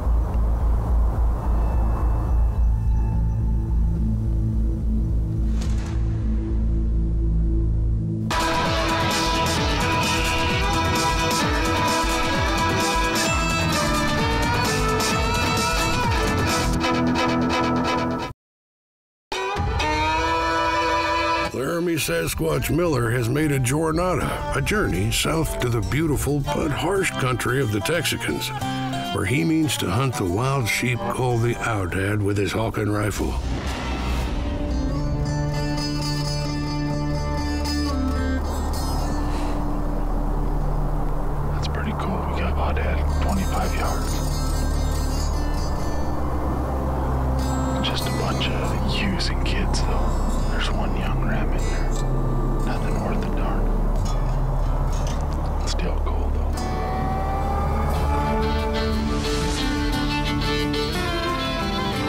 Look around and all underneath these bluffs, there's big sheep trails, tons of sheep sign. A lot of it's older because in the summer they'll get under here. When it's real hot out, these bluffs will be shady, so they'll get under and bed underneath all these bluffs. Stay out of the wind and sun and rain and everything else. Pretty neat.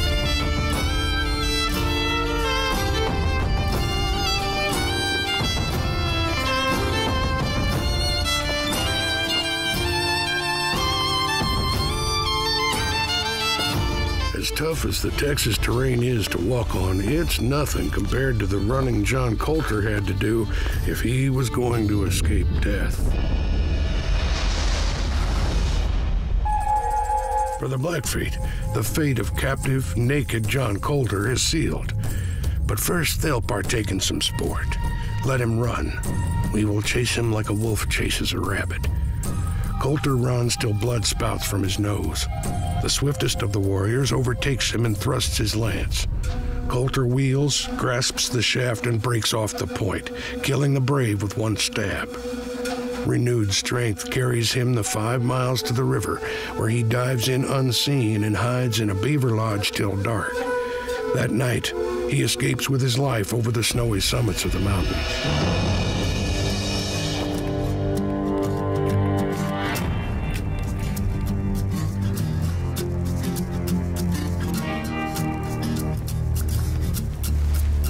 Can tell right there, these aoudad have phenomenal eyesight. They're eight, 900 yards away and picked us out quick, and off they went. It's the same kind of terrain as hunting these desert bighorns. Real rocky bluffs, kind of rolling hills, really open. Makes it tough for spot and stalk. But that's what I'm all about. I love to spot and stalk. I don't like hunting out of stands or blinds or anything like that. I'm gonna go make it a level playing field. I'm gonna go spot and stalk and I'm gonna try to get up close and personal with these animals on the ground. That's the Sasquatch way. Aoudad aren't the only game in Texas, and they are certainly far from the most destructive. As you can tell right here, these hogs have been coming under the fence, and if you look, I mean, they just tear stuff up. We're gonna set up some snares along this fence and hopefully try to catch us some hogs. Whether it's a coyote, bobcat, hogs, anything, you wanna try to funnel them into a certain area. Just like any of the trapping you're doing, you're trying to focus an animal to go in that spot. Whether it be a snare, lining it with logs, or a beaver, putting sticks in the ground so that it funnels it right to where your trap is. And that's all that's acting as is a funnel.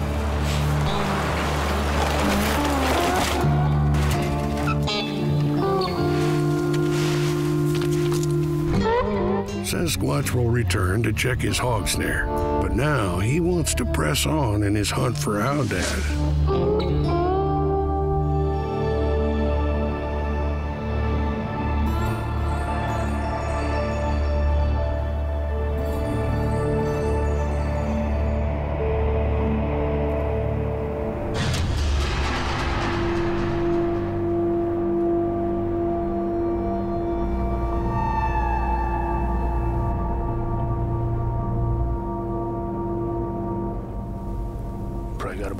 Sheep right down here in the bottom. There's one really good ram with them.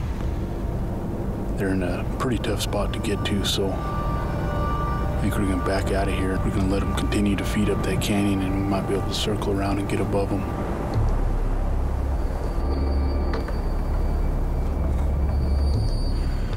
You know, one of the things I absolutely love about Texas is it's a great place to hone your skills. If you want to learn how to spot and stalk and want to try to, you know, sneak up on animals and stuff like that, well, you've got tons of eyes looking at you.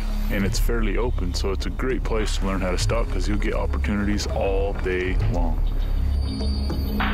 Sticking to the high ground, Laramy hopes to spot the sheep before they spot him, giving him a chance to practice his stalking skills.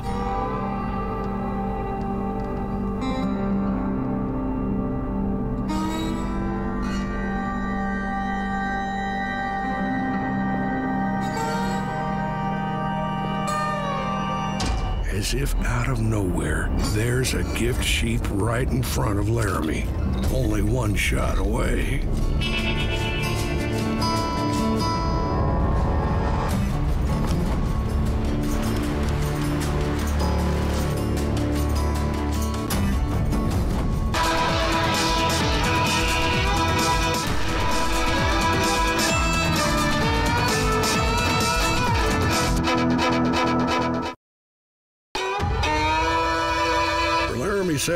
Miller, it's been a long ride on the Mountain Man Trail to the Texas Republic. And here, in this rocky, brutal land, he's just spotted a ram.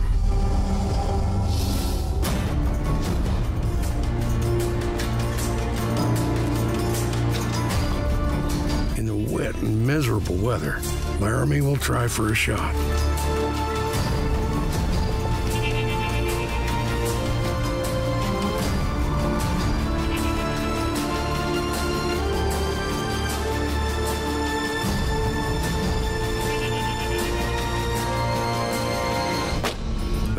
Gun sound is as loud as a brass cannon to Laramy's frustrated hearing.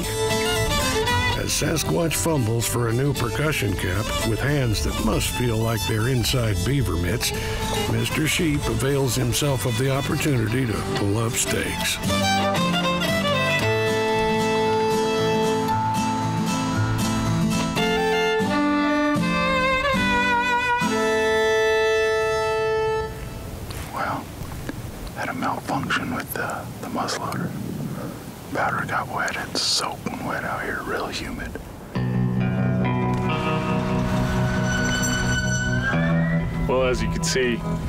Little bit of a circus.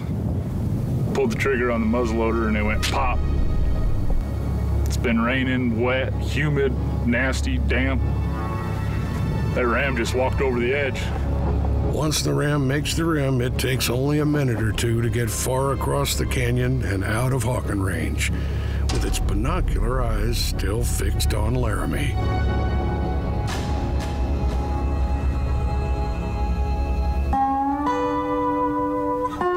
Sasquatch is disappointed, but he knows this is just part of the way it is in the mountain man world, and he also knows he's about to be beat by darkness.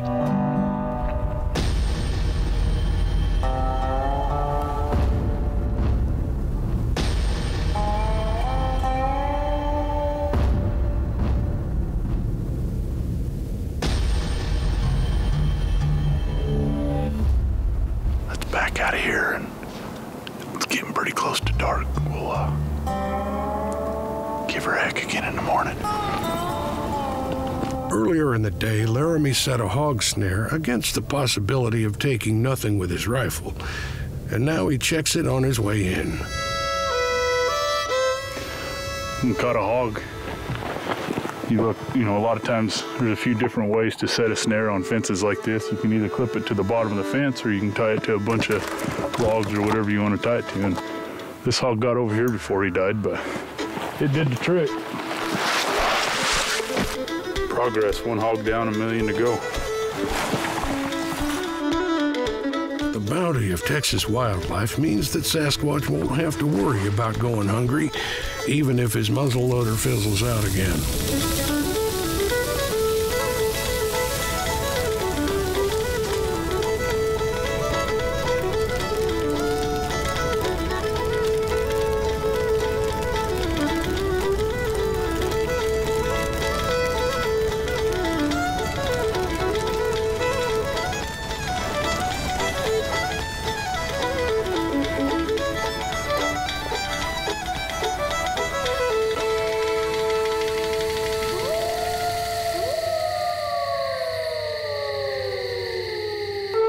Coming of daylight, Sasquatch is ready to begin his stalk for wild sheep once more. You know, one of the biggest problems people make when they're trying to stock up on animals or just still hunt an area is side to side movement. You see an animal over there, one of the easiest ways for them to pick you out is the lateral movement. They can see really good side to side, but their depth perception is a little off.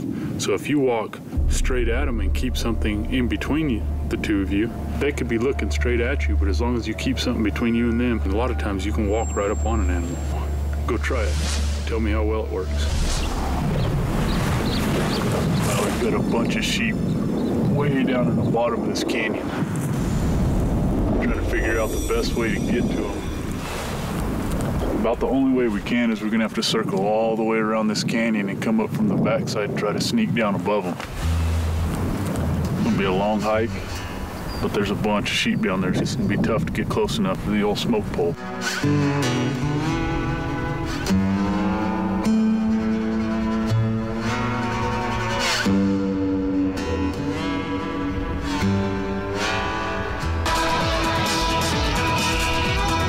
Drop like a sack of rocks.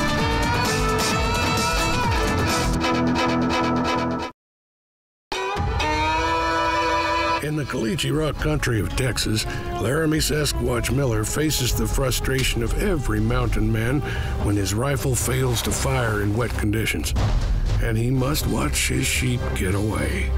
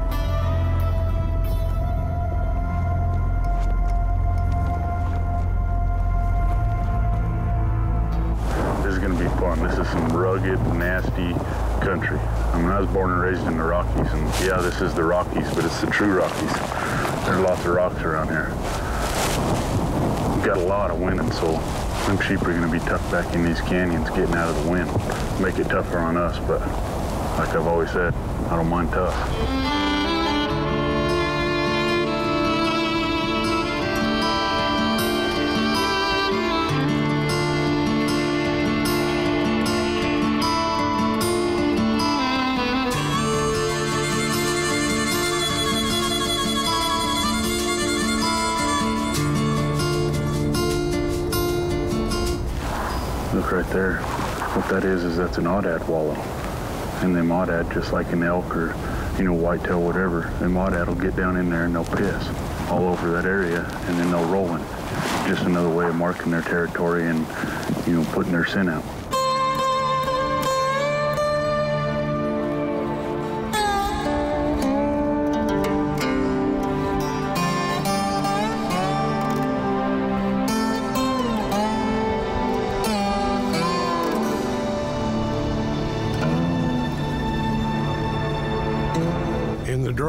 Laramy has the sheep spotted.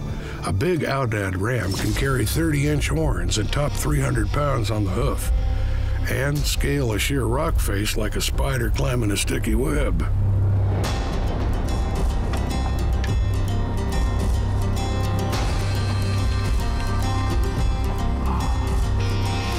Now, if only Sasquatch has kept his powder dry so his Hawken will make some smoke.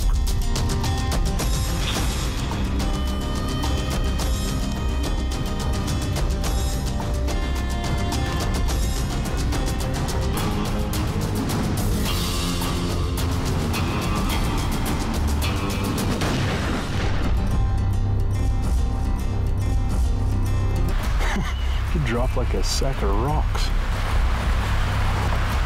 That was a little bit of a hang fire, but it worked. you know, the tricky thing about shooting some of these old guns, flint locks even worse, is you get a hang fire, you better your follow through better be dang good. No, sir. Job's not done till the fire gets to the powder. It's one thing to remember if you're ever shooting muzzleloader or flintlock. Hold on to your target for a little while. So we circled around and started coming down, got real close, laid the hammer down. He dropped like a rock.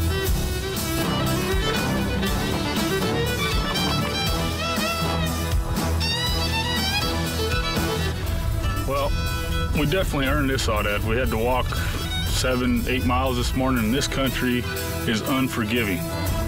I hike the mountains all the time, this is some of the toughest terrain to navigate just because your footing is horrible. We put our work in. It's all paid off. Yes, paid off in a rare trophy.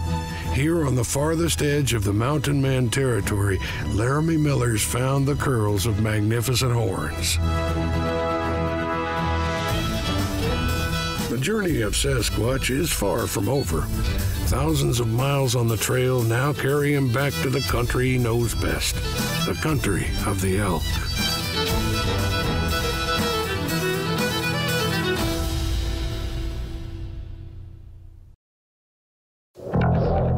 Something hunts these mountains, shaped from myth. Formed by the spirit of the mountain man, he lives by the way he hunts.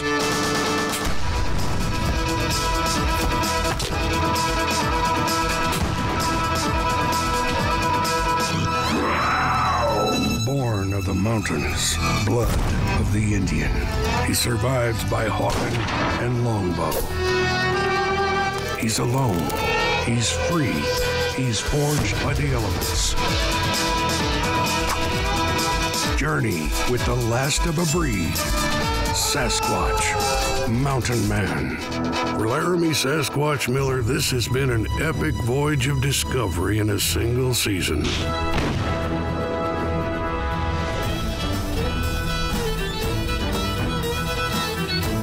Black powder has been a way to live off the land. But when it comes to tradition, especially with the terror king of the North American wilderness, disaster can hang on a small copper cap. Now the question is, which is faster, a charging grizzly or a balky muzzleloader? That bear standing up looking could have turned bad real quick. A dead grizzly does indeed concentrate the mind. But Laramy's quest for the dangerous game of the mountain men didn't end there. Tooth and claw have not been the only threat, as Sasquatch faced White Death on his way to making his winter meat.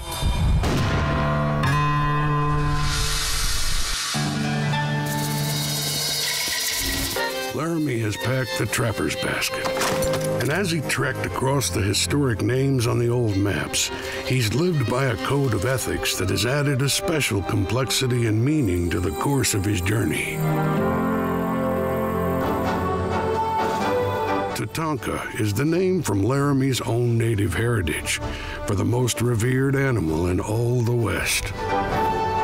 And for Laramy, there's only one true way to hunt this icon.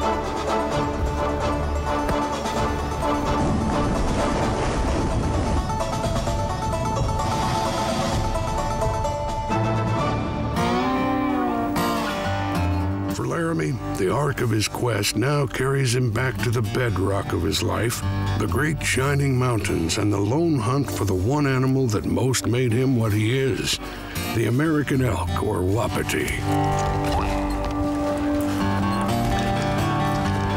Laramy Miller has the sound of the elk's bugle and the sight of its hoofprints to carry him into the mountains.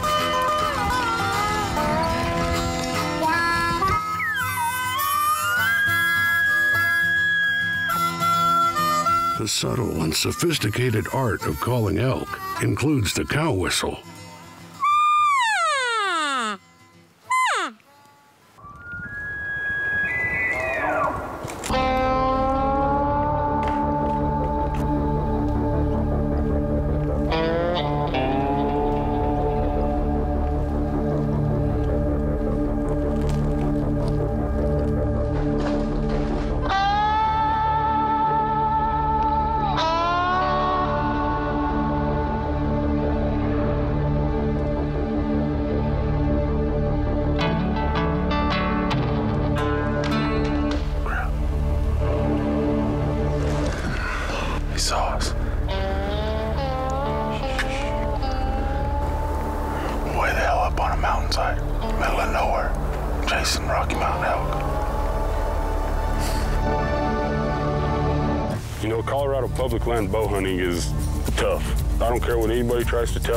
It's a very low success rate. We get so much rain that you can't go sit on one water hole and expect to kill, you know, a decent bull or an elk because they travel so much.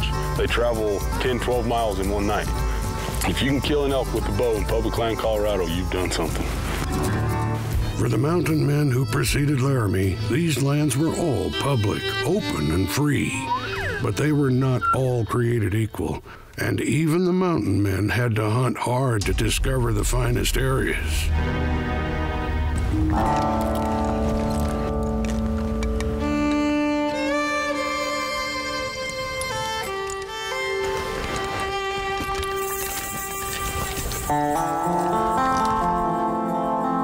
The mountain big game is not limited to elk. This young ram has more peaks to climb. Laramy's calling sounds irresistible to at least one bull.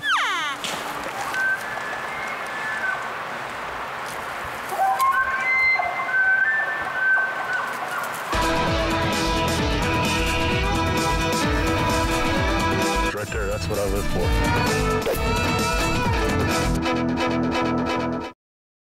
Sasquatch is brought to you by Honda Power Sports.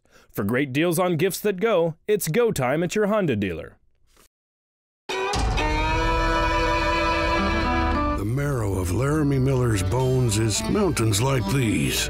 Calling and hunting elk are in his blood, even when victory goes to the Wapiti. Way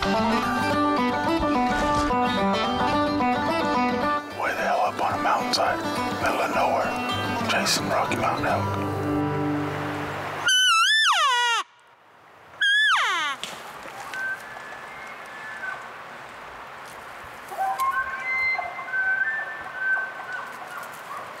One bull may have bolted, but Laramy's calling draws the attention of another.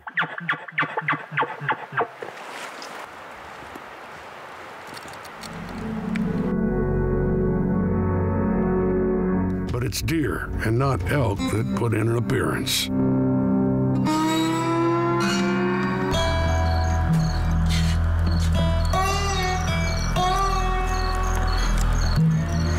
For the mountain men, a dog could be as vital as a horse. sometimes in extreme ways.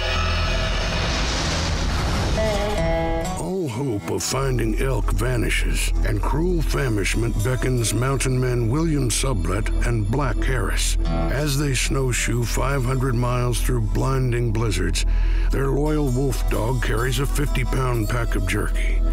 The Indian dog's pack is torn, and all the jerky is lost. In seeming amends, the dog catches a scrawny hare, but the men are ultimately reduced to eating raw raven. The failing dog can barely keep up on the marches, and now beside a feeble campfire, three gaunt figures, unable to travel farther, face starvation. Without elk, two of them will have to look to the third for desperately needed nourishment.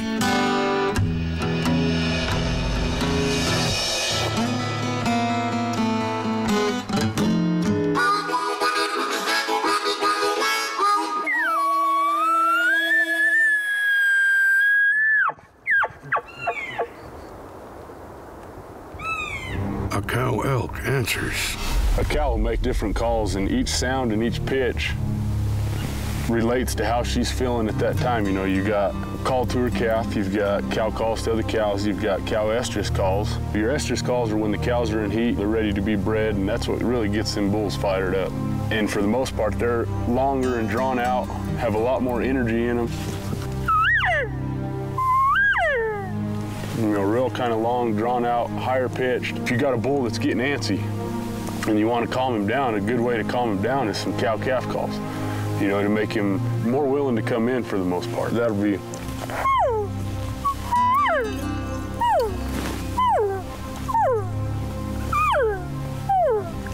you know, just real soft, and low key. And the better you know the different sounds the elk make, the more success you're gonna have. I was real fortunate. I was raised up in a hunting family. I've been hunting elk my entire life. My uncle owned an outfitting business, distributed VHSs back in the 70s and 80s. My grandpa's been hunting his whole life. My dad guided from my uncle. I've been lucky to learn from some of the best. By the time I was a young man, I was already educated in elk better than anybody that could have been out there 20 years.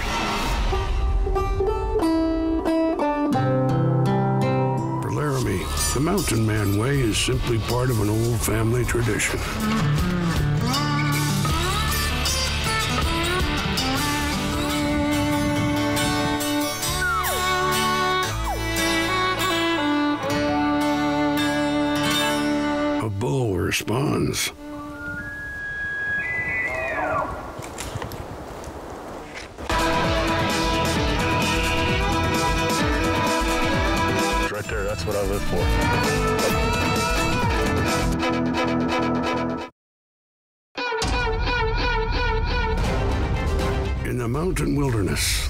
Sasquatch Miller is taking the ultimate test. Hunting elk with bow and arrow on public land is as extreme and challenging as it gets. He just bugled again up here. See if he won't calm down and bugle again and maybe go after him again.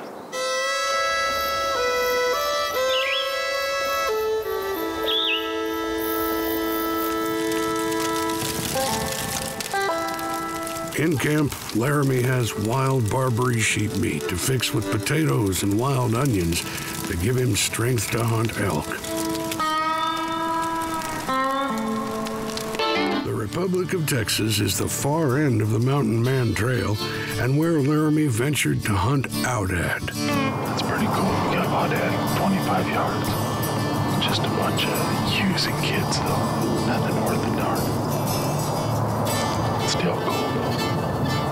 The Caliche Rock trails were once trod by the boots of Spanish conquistadors, then mountain men bent on finding everything from badger to jaguar. For Laramy, the quest was this large wild ram dressed in fringes of long hair.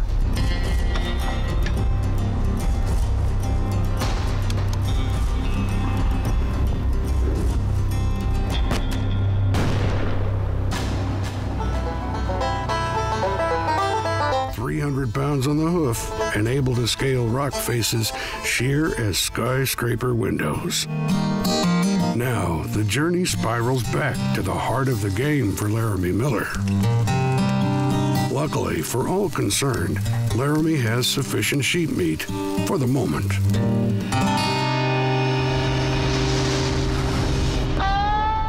Black Harris tells starving William Sublette that their wolf dog must die. Shuddering in the frozen night, a freezing Sublette weakly concurs. Sensing its fate, the dog flashes its fierce yellow eyes and bares its fangs as Harris approaches. But the dog also is too weak to stand, and its growl becomes a pitiful howl as the first blow of the tomahawk descends. The hatchet head then flies off the handle. A wretched Sublette must get up to assist in the assassination, stabbing the dog with his knife. The dog is thrown on the embers of the fire, but it's not dead and kicks itself off. At last, the terrible deed is done and the dog roasted, the mountain men staving off death with their cruel victuals.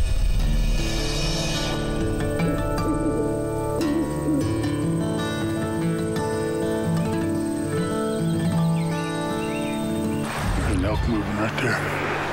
See? Got a bull that just headed into the timber up here. I think I'm gonna drop back down and go down the valley so that I can get the wind right and come up blowing. This is for mountain goats, not Sasquatches.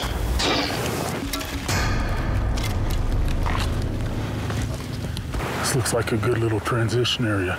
They're transitioning from their feeding to their bedding area. I'm gonna let out a bugle and see if I can't get a response.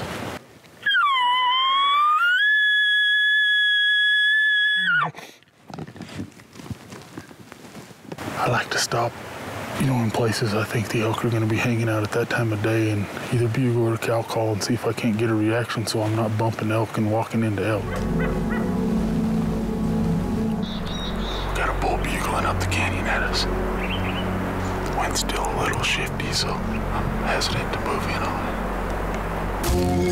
it.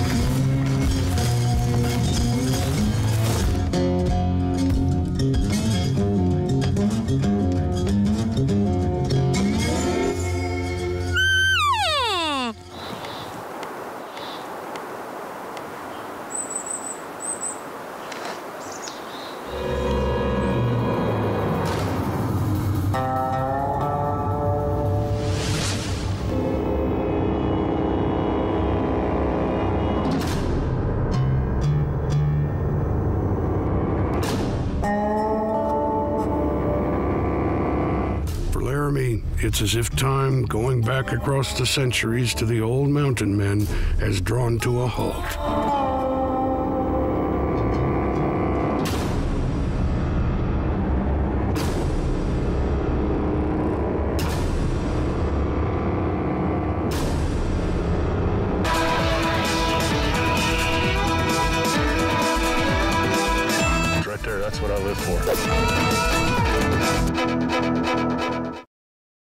Sasquatch is brought to you by Honda Power Sports. For great deals on gifts that go, it's go time at your Honda dealer. The wild and free summits of the Rocky Mountains.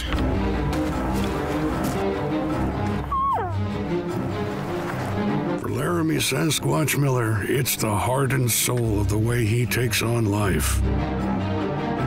An elk moving right there. See him? The final ascent begins.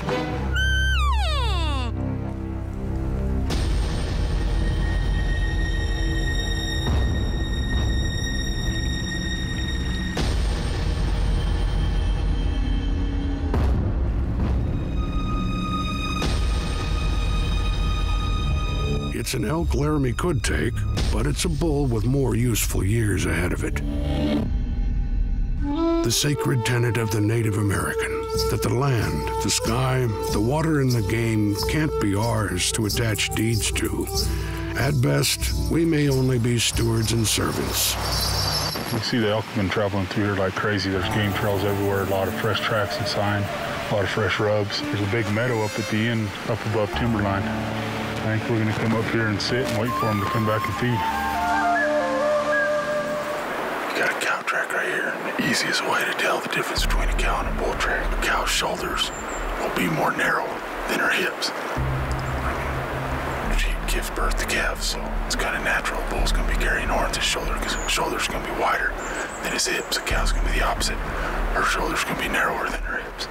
And with age, the older the cow, the more definite that you can tell in their track. You can tell right there that's a real young cow. Their hips are just a little bit wider than her are. Not much, but just a little.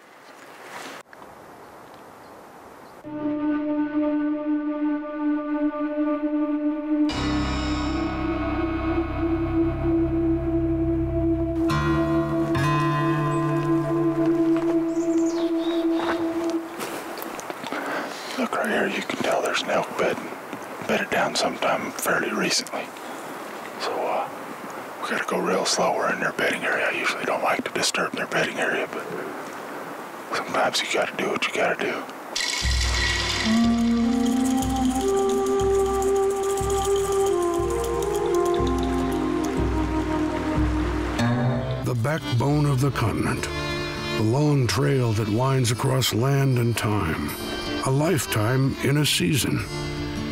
In the taste of the fall wind, Laramy senses the final goal of his journey.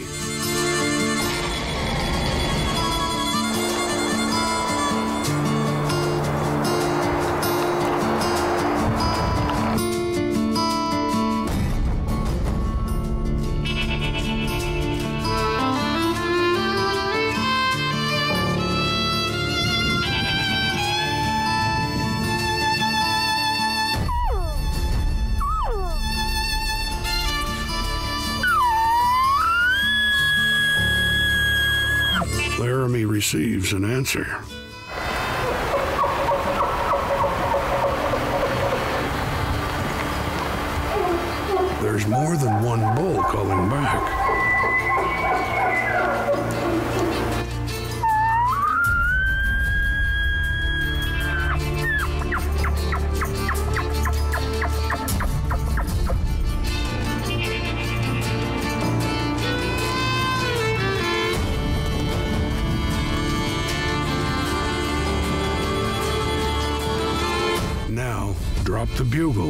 Knock an arrow.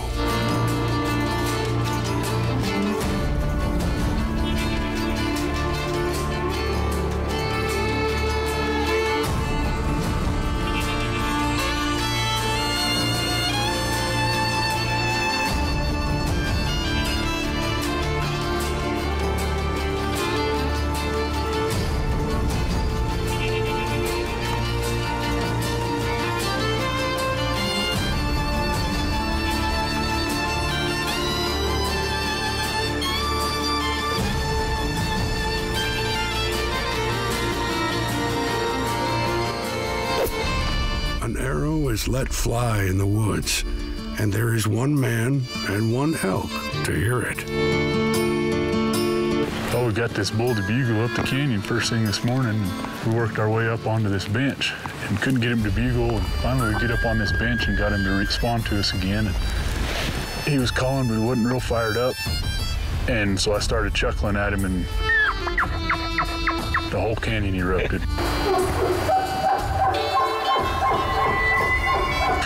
What I look for.